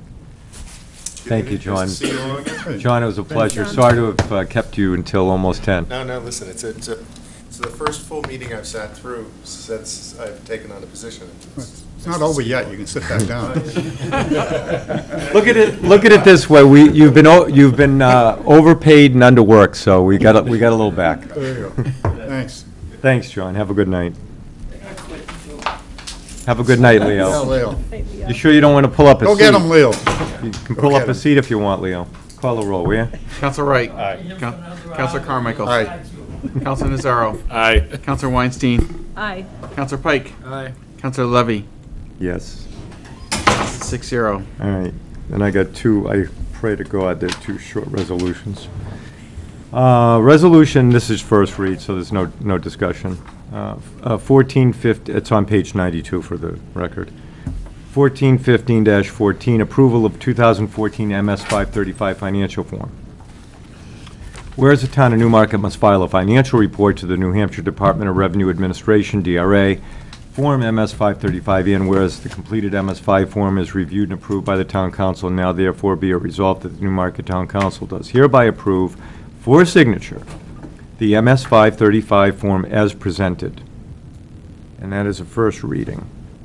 Next, 2014 15 dash 15, resolution relating to the pur- purchase of an international truck and related equipment. Whereas the highway department needs to replace its number six plow truck.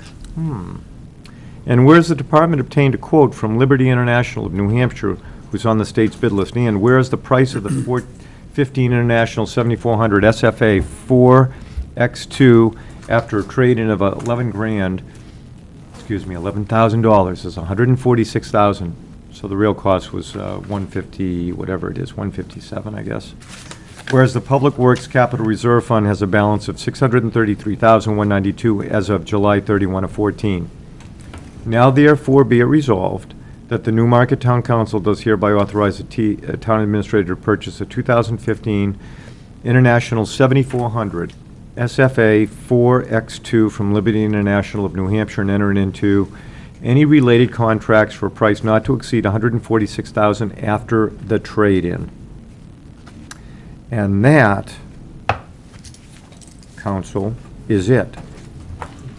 Does anyone have any correspondence? I'm sure I've answered all the questions about the committee. Is there anyone that has any questions about anything else or comments? Okay. Um, Seeing none, do I have a motion to adjourn? Motion to adjourn. We are adjourned. Rock and roll. Long uh, time.